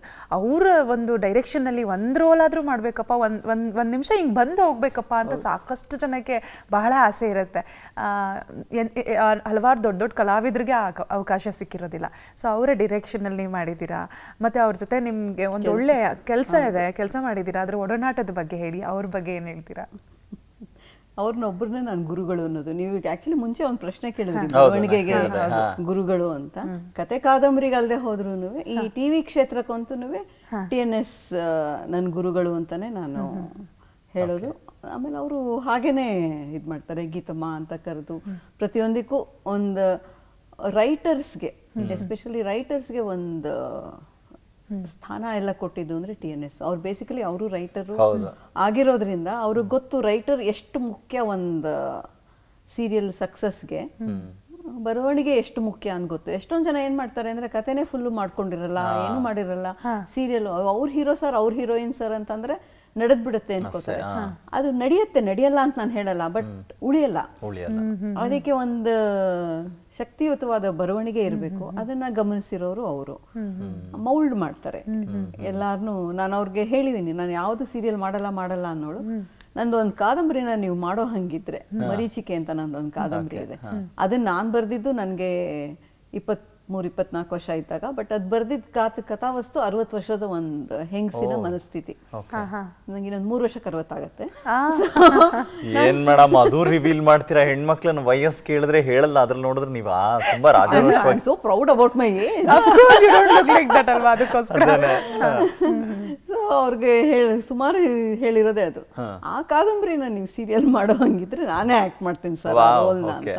ಬಟ್ ಇವಾಗ ಏನು ಯಾವ ಚಾನಲ್ಗೂ ಆತರ ಸೀರಿಯಸ್ ಕಥಾವಸ್ತುವಿನ ಅವಶ್ಯಕತೆ ಇಲ್ಲ. ಹಾಗಾಗಿ ಅದು ಆಗಲ್ಲ ಅನ್ಸುತ್ತೆ. ಅದೊಂದು ಕನಸು ಅವ್ರು ಡೈರೆಕ್ಟ್ ಮಾಡಿ ಮಾಡೋ ಹಂಗಿದ್ರೆ ಅದೊಂದು ಮಾಡ್ಬೇಕಂತ ನನಗೆ ಆಸೆ ಇರೋದು ಅದೊಂದೇ ರೋಲ್ ಓಕೆ ಇನ್ಯಾವುದೂ ಇಲ್ಲ. ಅಲ್ಲ ಬಟ್ ಅವ್ರ ಜೊತೆ ಮಾಡಿ ಏನಿಲ್ಲ ಅಲ್ಲ ಹಂಗಿದ್ರೆ ನಾ ಅಂದ್ರೆ ನಾವು ವಿಶ್ ಮಾಡ್ತೀವಿ. ಪ್ರತಿ ಸಲ ಈ ವೇದಿಕೆಗೆ ಬಂದಾಗ ಎಲ್ರಿಗೂ ಅಷ್ಟೇನೆ. ಆಗ್ಲಿ ಅಂದ್ರೆ ನಿಮ್ಗೆ ಅನ್ಕೊಂಡಿದ್ ಕನ್ಸು ನನಸಾಗ್ಲಿ ಅಂತ ನಿನ್ನೆ ನಿರ್ದೇಶಕರೊಬ್ರು ಬಂದಿದ್ರು. ಅವ್ರು ಮೂರನೇ ಚಿತ್ರ ಬರ್ತಾ ಇದೆ ಎರಡಕ್ಕೂ ನ್ಯಾಷನಲ್ ಅವಾರ್ಡ್ ಬಂದಿದೆ. ಸೊ ಇದಕ್ಕೂ ಬರ್ಲಿ ಹ್ಯಾಟ್ರಿಕ್ ಹೊಡೀರಿ ಸರ್ ಅಂತ ವಿಶ್ ಮಾಡಿದೀವಿ. ಸೊ ನಿಮಗೂ ಹಾಗೇನೆ. ಯಾಕಂದ್ರೆ ನಾನು ಆಕ್ಟೇ ಮಾಡಲ್ಲ ಅನ್ನೋರಿಗೆ ನಿಮ್ಮದೇ ಕಥೆ ಅಥವಾ ಕಾದಂಬರಿ ಒಳಗಡೆ ನೀವು ಮಾಡಬೇಕು ಅನ್ನೋಂಥ ಅರ್ಜನ್ನ ಹುಟ್ಟಿಸಿದೆಯಲ್ಲ ಅದಕ್ಕಾಗ್ಲಿ ಅಂತ ನಾವು ಆಶಿಸ್ತೀವಿ madam thank you thank you ಆಗ್ಲಿ ನೋಡೋಣ. ಯಾರನ್ನ ಅದನ್ನ ಮಾಡ್ತಾರೆ ಅಂದ್ರೆ ತುಂಬಾನೇ ಖುಷಿಯಾಗಿ ಮಾಡಬಹುದು ಬೇಕಾದ್ರೆ ನಾನು ಅದಕ್ಕೆ ರೆಡಿ ಇದೀನಿ ಅಂದ್ರೆ ಇನ್ನ ಏನೇನೋ ಸೇರ್ಸಕ್ಕೆ. ಏನೋ ಹೇಳ್ತಾರಲ್ಲ. ಕಮರ್ಷಿಯಲ್ ಆಸ್ಪೆಕ್ಟ್ ಕಮರ್ಷಿಯಲ್ ಆಸ್ಪೆಕ್ಟ್ಸ್ ನನ್ಗೆ ಯಾವ್ದೋ ಒಂದ್ ಕಥೆದ ಹಂಗೇನೆ ತಗೊಂಡ್ ಹೋದ್ರೆ ಇದೇನಿದು ಗಂಡ್ ಬಿಸ್ನೆಸ್ ಮ್ಯಾನ್ ಅಂತೀರಾ ಅವನ್ಗೆ ಹೀರೋಗೆ? ಇನ್ನೊಂದು ಅಫೇರ್ ಇಲ್ವಾ? ಹೌದಾ ಹಾಕೋಣ ಅದಕ್ಕೆ. ಸೊ ಅಂದ್ರೆ ಇವಾಗ ನೀವು ಇವಾಗ ಏನ್ ಬೇಕು ಟ್ರೆಂಡ್ ಸೆಟರ್ ಆ ತರ ನೀವು ಟ್ಯೂನ್ ಅಪ್. ಮಾಡ್ಕೊಟ್ಬಿಡೋದು ಅಂತ. ಹೌದಾ ಅನದರ್ ವುಮೆನ್ ಆಮೇಲೆ ಬರ್ತಾಳ. ಬೇಡ ಹಳೆ ಹೆಂಡತಿ ತಗೊಂಬರೋಣ ಅವಳೇ ಒಂಥರ ನನ್ಗೆ ಎಷ್ಟು ಅದ್ರ ಕೋಪ ಬರುತ್ತೆ ಅದು. ಈ- ತರ ಹೇಳೋದು ಖುಷಿಯಿಂದ ಅಲ್ಲ ನಾನು. ಅದೇ ಗೊತ್ತಾಯ್ತು. ಬೇಸರದಿಂದ ಒಂದು ಒಳ್ಳೆ ಕತೆ ತಗೊಂಡ್ ಹೋದಾಗ ಇದ್ರೊಳಗೆ ಅದಿಲ್ಲ ಆ, ಹಿಂಗ ಫೇರ್ ಆ ಥರ ಏನೇನೋ ಹೇಳ್ತಾರಲ್ಲ ಅವಾಗ ನಂಗೆ ಇರಿಟೇಟ್ ಆಗಿ ಹೀಗೆ ಹೇಳ್ತೀನಿ ನಾನು. ಮಾಡೋಣ ಏನಂತೀಗ? ಅಂದ್ರೆ it is so easy correct ಏನೇನೋ ಸೇರಿಸ್ಬಿಟ್ಟು ಒಂದು ಕಲಸ ಮೇಲೋಗ್ರ ಮಾಡೋದು ತುಂಬಾ ಸುಲಭ. ಒಂದು ಚಂದದ ಒಂದು ಕತೆನ ಹಾಳು ಮಾಡ್ತಾರಲ್ಲ ಅಂತ ಬೇಜಾರಾಗತ್ತೆ. ನೋಡೋಣ. ನಿಮ್ಮ ಜವಾಬ್ದಾರಿಗಳು ಬೇರೆ ಬೇರೆ ಥರ ಇದೆ ಮೇಡಮ್. ಒಂದು ಈ ಕಡೆ ಇದೆಲ್ಲನೂ ನಿಭಾಯಿಸೋ ಬರವಣಿಗೆಯ ಒಂದು ಸ್ಟ್ರೆಂತ್ ಅದಾದರೆ ಮತ್ತು ಲೇಖಕಿಯರೇ ಒಟ್ಟಿಗೆ ಸೇರ್ಕೊಂಡು ಲೇಖಕಿಯರ ಸಂಘ ಅಂತ ಸ್ಥಾಪನೆ ಮಾಡ್ಕೊಂಡಿದ್ದೆ. ಅಲ್ಲೊಂದು ಜವಾಬ್ದಾರಿನ ನಿಭಾಯಿಸ್ತೀರಾ? ಯಾಕೆಂದರೆ ಅಲ್ಲಿ ನಿಮಗೆ ಬೇರೆದೇ ಆಯಾಮವನ್ನು ಕೂಡ ಕೊಡುತ್ತೆ. ಯಾಕೆಂದ್ರೆ ನೀವು ಬರೀ ಸುಮ್ಮನೆ ನಾವು ಬರಿತಾ ಇದ್ದಿದ್ದ ಪುಸ್ತಕ, ನಾನು ಓಕೆ ಅಪ್ಪ, ಓದೋರು ಓದ್ತಾರೆ ನನಗೆ, ಓಕೆ ನನ್ನ ಪಾಡಿಗೆ ನಾನು ಇದ್ದೀನಿ ಅನ್ನೋದಲ್ಲ. ಅಲ್ಲಿ ಹೋದಾಗ ನಿಮ್ಮ ಆ ಸ್ಥಾನದಲ್ಲಿ ಕೂತ್ಕೊಂಡು ಕೆಲಸ ಜವಾಬ್ದಾರಿಗಳು ಬೇರೆ ಬೇರೆ ಇದೆ. ಅಂದರೆ ಅಲ್ಲಿ ಕೆಲಸ ಮಾಡಿದಂಥ ಅನುಭವಗಳನ್ನು ಹೇಳಿ ಮೇಡಮ್ ಏನು ಅದೇನು ತುಂಬ ಸಂತೋಷ ಕೊಟ್ಟ ಅನುಭವ ಅಂತ ಹೇಳಾರೆ ಟು ಬಿ ಫ್ರ್ಯಾಂಕ್ ಏನಂದ್ರೆ ಅದು ನಾನು ಹೋಗಿದ್ದು ಒಂದು ಸೆಲ್ಫಿಶ್ ರೀಸನ್ಗೆನೆ ಅವಾಗ ನನ್ನ ಪಬ್ಲಿಷರ್ ನಾನಿನ್ನ ಹೊಸ ಲೇಖಕಿ ಅವಾಗ ಇನ್ನ ಜಾಸ್ತಿ ಎರಡನೇ ಪುಸ್ತಕನೋ ಏನೋ ಬಂದಿತ್ತು. ಅವಾಗ ನನ್ನ ಪಬ್ಲಿಷರ್ ಏನು ಹೇಳಿದ್ರು ನೀವು ಹೋಗಿ ಲೇಖಕಿಯರ ಸಂಘದಲ್ಲಿ ಮೆಂಬರ್ ಆದ್ರೆ ನಿಮ್ಗೆ ಇನ್ನೊಂದು ಸ್ವಲ್ಪ ಪರಿಚಯಗಳಾಗತ್ತೆ ನಿಮ್ಮ ವಲಯ ಹಿಗ್ಗತ್ತೆ. ಯಾಕಂದ್ರೆ ನಾನು ನನ್ನ ಪಾಡ್ ನಾನು ಬರ್ಕೊಂಡಿದ್ದೋಳು. ನನಗೆ ಹೊರಗಿಂದೇನು ಗೊತ್ತೇ ಇರಲಿಲ್ಲ. ಪೋಸ್ಟಲ್ ಕಳಿಸ್ತಾ ಇದ್ದೆ ಕತೆ ಬರೋದು ಇದು ಅಷ್ಟೇ ಇದ್ದಿದ್ರೊಳಗೆ. ಪುಸ್ತಕ ಬರೆದಾಗ ಒಂದು ಸ್ವಲ್ಪ ಓಪನ್ ಆಗಲೇಬೇಕಾಯ್ತು. ಪಬ್ಲಿಷರ್ನ ಭೇಟಿ ಅದು ಇದು ಎಲ್ಲನೂ ಅವಾಗ ಹೋಗಿ ಮೆಂಬರ್ ಆಗಿ ಹೋಗಿ ಮೆಂಬರ್ ಏನೋ ಆದೆ. ಸರಿ ತಿರ್ಗಾ ವಾಪಸ್ ಮನೆಗೆ ಬಂದೆ ಅಷ್ಟೇ. ಅಂದ್ರೆ ಇನ್ನೇನು ಜಾಸ್ತಿ ಮಾಡಿಲ್ಲ ಜೊತೆಗೆ ತಿರ್ಗಾ ನನ್ನನ್ನು ಲೇಖಕಿಯಾಗಿ ಗುರುತಿಸಕ್ ಶುರು ಮಾಡಿದ್ದು ಸಂಘ ನನ್ನನ್ನು ಗುರುತಿಸಿದ್ ಯಾವಾಗಪ್ಪ ಅಂದ್ರೆ ಸೀರಿಯಲ್ ಬಂದಾಗ್ಲೇನೆ. ಅವಾಗ ಓ ಗೀತಾ ಬಿ ಇವ್ರದ್ದು ಕಾದಂಬರಿನೂ ಇದೆ ಅಂತ ಅನ್ಕೊಂಡು ಅವಾಗ ನೀವು ಬನ್ನಿ ಅಂತೆಲ್ಲ ಒಂಥರ ಬರ್ತೀನಿ ಅಂತ ಹೋಗೋಕ್ಕೂ ಬನ್ನಿ ಅಂತ ಕರೆದಾಗ ಹೋಗೋಕ್ಕೂ ವ್ಯತ್ಯಾಸ ಇದೆ. ಹೌದು. ಹೌದು. ಸೊ ಅದು ಯಾವಾಗಲೂ ನನಗೆ ಬಹಳ ಮುಖ್ಯ. ಬನ್ನಿ ಅಂದಾಗಲೇ ಹೋಗಬೇಕು ಅನ್ನೋದು ತುಂಬಾ ಸ್ಟ್ರಾಂಗ್ ಆಗಿ ಬಿಲೀವ್ ಮಾಡ್ತೀನಿ ನಾನು ಅದನ್ನ. ಅದು ಹಾಗೆ ಕರೆದ ಮೇಲೆ ಹೋದೆ. ಆಕ್ಟಿವ್ ಆಗಿ ಇದ್ದೆ. ಉಷಾ ಪಿರೈ ಅವರು ಪ್ರೆಸಿಡೆಂಟ್ ಆಗಿದ್ದಾಗ ಅವ್ರ ಜೊತೆ ಸೆಕ್ರೆಟರಿ ಆಗಿ ಕೆಲಸ ಮಾಡಿದ್ದೆ. ಬಟ್ ಹೆಚ್ಚು ಕೆಲಸ ಮಾಡೋದು ಜಾಸ್ತಿ ಏನಿಲ್ಲ ಅಲ್ಲಿ. ಏನಿಲ್ಲ. ಏನಿಲ್ಲ. ಯಾಕಂದ್ರೆ ಫಂಡ್ಸ್ ಎಲ್ಲ ಕಮ್ಮಿ ಇದೆ ಪಾಪ. ಒಂದು ಸಂಘಕ್ಕೆ ದುಡ್ಡು ಏನನ್ನ ಆಸೆ ಇದ್ರೂ ದುಡ್ಡು ಕಾಸು ಇಲ್ಲದೆ ನಡೆಯಲ್ಲ ಎಷ್ಟೊಂದು. ತಿರ್ಗಾ ಅಲ್ಲಿ ಕೂತು ಏನು ಮಾಡೋದು? ಆ ಪ್ರಶಸ್ತಿ ಕೊಡಿ ಈ ಪ್ರಶಸ್ತಿ ಕೊಡಿ. ಅವ್ರಿಗೆ ಕಾಗ್ದ ಬರಿ ಇವ್ರಿಗೆ ಕಾರ್ಡ್ ಎಲ್ಲ ಅಡ್ರೆಸ್ ಬರಿ. ನನ್ಗೇನ್ ಅಂತ ಬಟ್ ಒಂದು ಒಳ್ಳೆ ಕೆಲಸ ಮಾಡಿದ್ದಂದ್ರೆ ಒಂದು ಕನ್ನಡ ಲೇಖಕಿಯರ ಒಂದು ಸಮ್ಮೇಳನ ಮಾಡಿದ್ವಿ. ಅದು ತುಂಬಾ ಚೆನ್ನಾಗಿತ್ತು. ಬಟ್ ಏನೇ ಇದ್ರೂ ನನಗೆ ನಾವು ಲೇಖಕಿಯರು ನಮ್ದೊಂದು ಗುಂಪು ಆ ಥರ ಮಾಡೋಕ್ಕಿಂತನೂ ಲೇಖಕರು ಅಂತ ಒಂದು ಬರಹಗಾರರು ಬರಹಗಾರ್ತಿ ಡಿಫ್ರೆನ್ಸಿಯೇಷನ್ ನನಗೆ ಅರ್ಥ ಆಗ್ತಾ ಇಲ್ಲ. ಒಂದು ದೊಡ್ಡ ಗುಂಪು ಇದ್ರೆ ಕಾಮನ್ ಕಾಮನ್ ಪ್ಲಾಟ್ಫಾರ್ಮ್ ಇರಬೇಕು ಅಂತ ಅನ್ಸುತ್ತೆ. ಬಟ್ ಯಾತಕ್ಕೆ ಲೇಖಕಿಯರ ಡಿಮ್ಯಾಂಡ್ ಇದೆ ಅಂದ್ರೆ ಕಾಮನ್ ಪ್ಲಾಟ್ಫಾರ್ಮ್ ಅಂದ ತಕ್ಷಣ ಬರೀ ಗಂಡಸರೇ ಇರ್ತಾರೆ, ಹೆಂಗಸ್ರು ಇರಲ್ಲ ಅನ್ನೋದಕ್ಕೋಸ್ಕರ ಒಂದು ರೆಪ್ರೆಸೆಂಟೇಷನ್ ಡಿಮ್ಯಾಂಡ್ ಮಾಡೋಕ್ಕೋಸ್ಕರ ಈ ಸಂಘ ಇದೆ ಅಂತ. ಬಟ್ ಡಿಮ್ಯಾಂಡ್ ಮಾಡಿ ಮಾಡಿ ತಗೊಳ್ಳೋದ್ರೊಳಗೆ ಅರ್ಥ ಇಲ್ಲ ಅಂತನೂ ಅನ್ಸುತ್ತೆ. ಎಷ್ಟೋ ಸತಿ ವೇದಿಕೆಯಲ್ಲಿ ಡಿಮ್ಯಾಂಡ್ ಮಾಡಿದಾಗ ಏನಾಗುತ್ತೆ? ಎಂಟು ಜನ ಗಂಡಸರು ಕೂತಿರ್ತಾರೆ, ಒಬ್ಬ ಹೆಂಗಸ್ನಲ್ಲಿ. ಅಂದ್ರೆ ನಾಮಕಾವಸ್ಥೆ. ಅಯ್ಯೋ ಆಮೇಲೆ ಗಲಾಟೆ ಮಾಡ್ತಾರಪ್ಪ ಈ ಹೆಣ್ಮಕ್ಳು ಅನ್ನೋ ಥರ. ನಮಗಂತೂ ಯಾವುದೋ ಒಂದು ಫಂಕ್ಷನ್ಗೆ ಬಂದವ್ರು ಹೇಳು ಹೇಳಿದ್ರು. ಏನು ಲೇಖಕಿಯರ ಸಂಘದ್ದು ನಾವೆಲ್ಲ ಸೀರಿಯಸ್ ರೈಟರ್ಸು ಒಂದು ಓಡಾಡ್ತಾ ಎಲ್ಲ ಮಾಡ್ತಾ ಇದ್ರೆ ತುಂಬಾ ಖುಷಿ ಆಯ್ತು. ಹೆಣ್ಮಕ್ಳು ಓಡಾಡ್ತಾ ಇದ್ದಾರೆ ಅಂತ ಅಬ್ಬಾ. ನಾವು ಪೆದ್ ಪೆದ್ದಾಗ ಹೋಗಿ ಅವ್ರನ್ನ ಬನ್ನಿ ಅಂತ ಕರೆದ್ವಲ್ಲ ಅಂತ ನಾವು ಬೇಜಾರು ಮಾಡ್ಕೋಬೇಕು. ಏನೇ ಇರಲಿ ಮೇಡಮ್ ಇದು ಚಲನಚಿತ್ರಗಳನ್ನ ಸೆನ್ಸಾರ್ ಮಾಡುವಂಥದ್ದು ಒಂದು ಇದೆಯಲ್ಲ ಅದು ಇನ್ನೊಂಥರ ಜವಾಬ್ದಾರಿ. ಸೊ ಅಲ್ಲಿ ಕೂಡ ಕೆಲಸ ಮಾಡ್ತೀರಾ? ಅಂದ್ರೆ ಎರಡು ಸಲ ಮಾಡ್ತೀರಾ ಅಲ್ವಾ? ಆದರೂ ಅದ್ರ ಅದರ ಅನುಭವದ ಬಗ್ಗೆ ಹೇಳಿ ಮೇಡಮ್ ಚೆನ್ನಾಗಿತ್ತು ನಾನು ಎಲ್ಲರೂ ಬೈತಾರೆ ಅಯ್ಯೋ ಬೋರ್ ಆಗಲ್ವಾ ಮೂವಿ ನೋಡೋಕ್ಕೆ? ಯಾವುದೋ ಮೂವಿ ನೋಡಬೇಕು. ಜೊತೆಗೆ ಅದು ಒಂದು ಕೆಲಸದ ಥರ ನೋಡಬೇಕು. ಮೂವಿ ಎಂಟರ್ಟೈನ್ಮೆಂಟ್ ಅಲ್ಲ. ನೀವು ಸೆನ್ಸಾರ್ ಬೋರ್ಡ್ ಕೂತಾಗ ಅದೊಂದು ಜವಾಬ್ದಾರಿಯಾಗಿ ಕೂತ್ಕೊಳ್ಳೋದು. ಸೆನ್ಸಾರ್ ಬೋರ್ಡೇ ಬೇಡ ಅನ್ನೋ ಒಂದು ಕೂಗಿದೆ.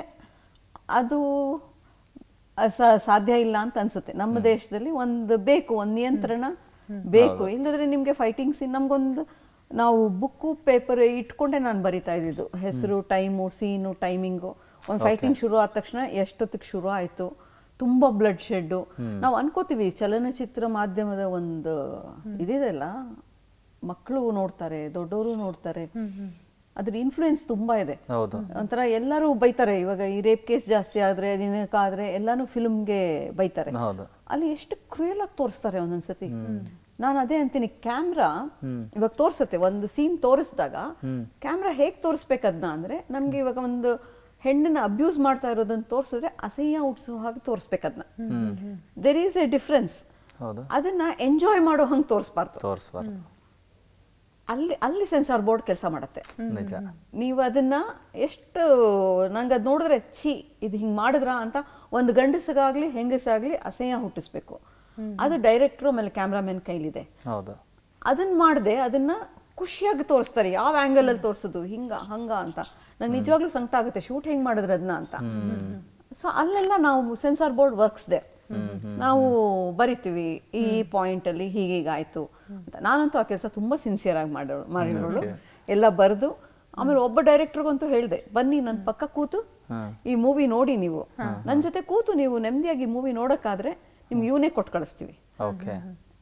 ಆಗಲ್ಲ ನಿಮ್ಗೆ ನನ್ನ ಜೊತೆ ಕೂತ್ಕೊಂಡು ಈ ಮೂವಿ ನೋಡಕ್ಕೆ ಅವಾಗ ಏ ತಗೊಂಡು ಹೋದ್ರು ಅವರು. ಹೌದಾ?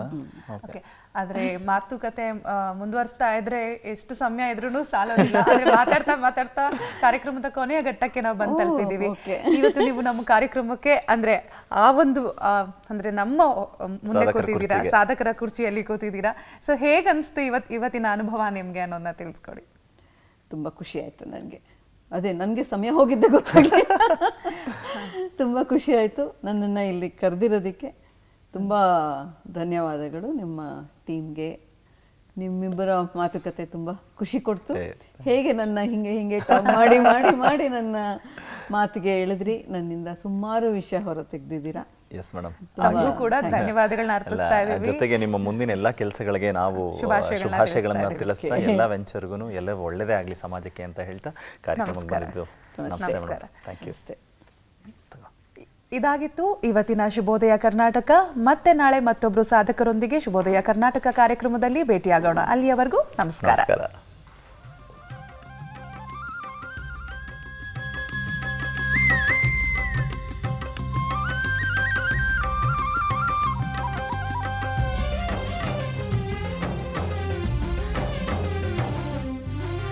ಮೂಡಲ ಮಲೆ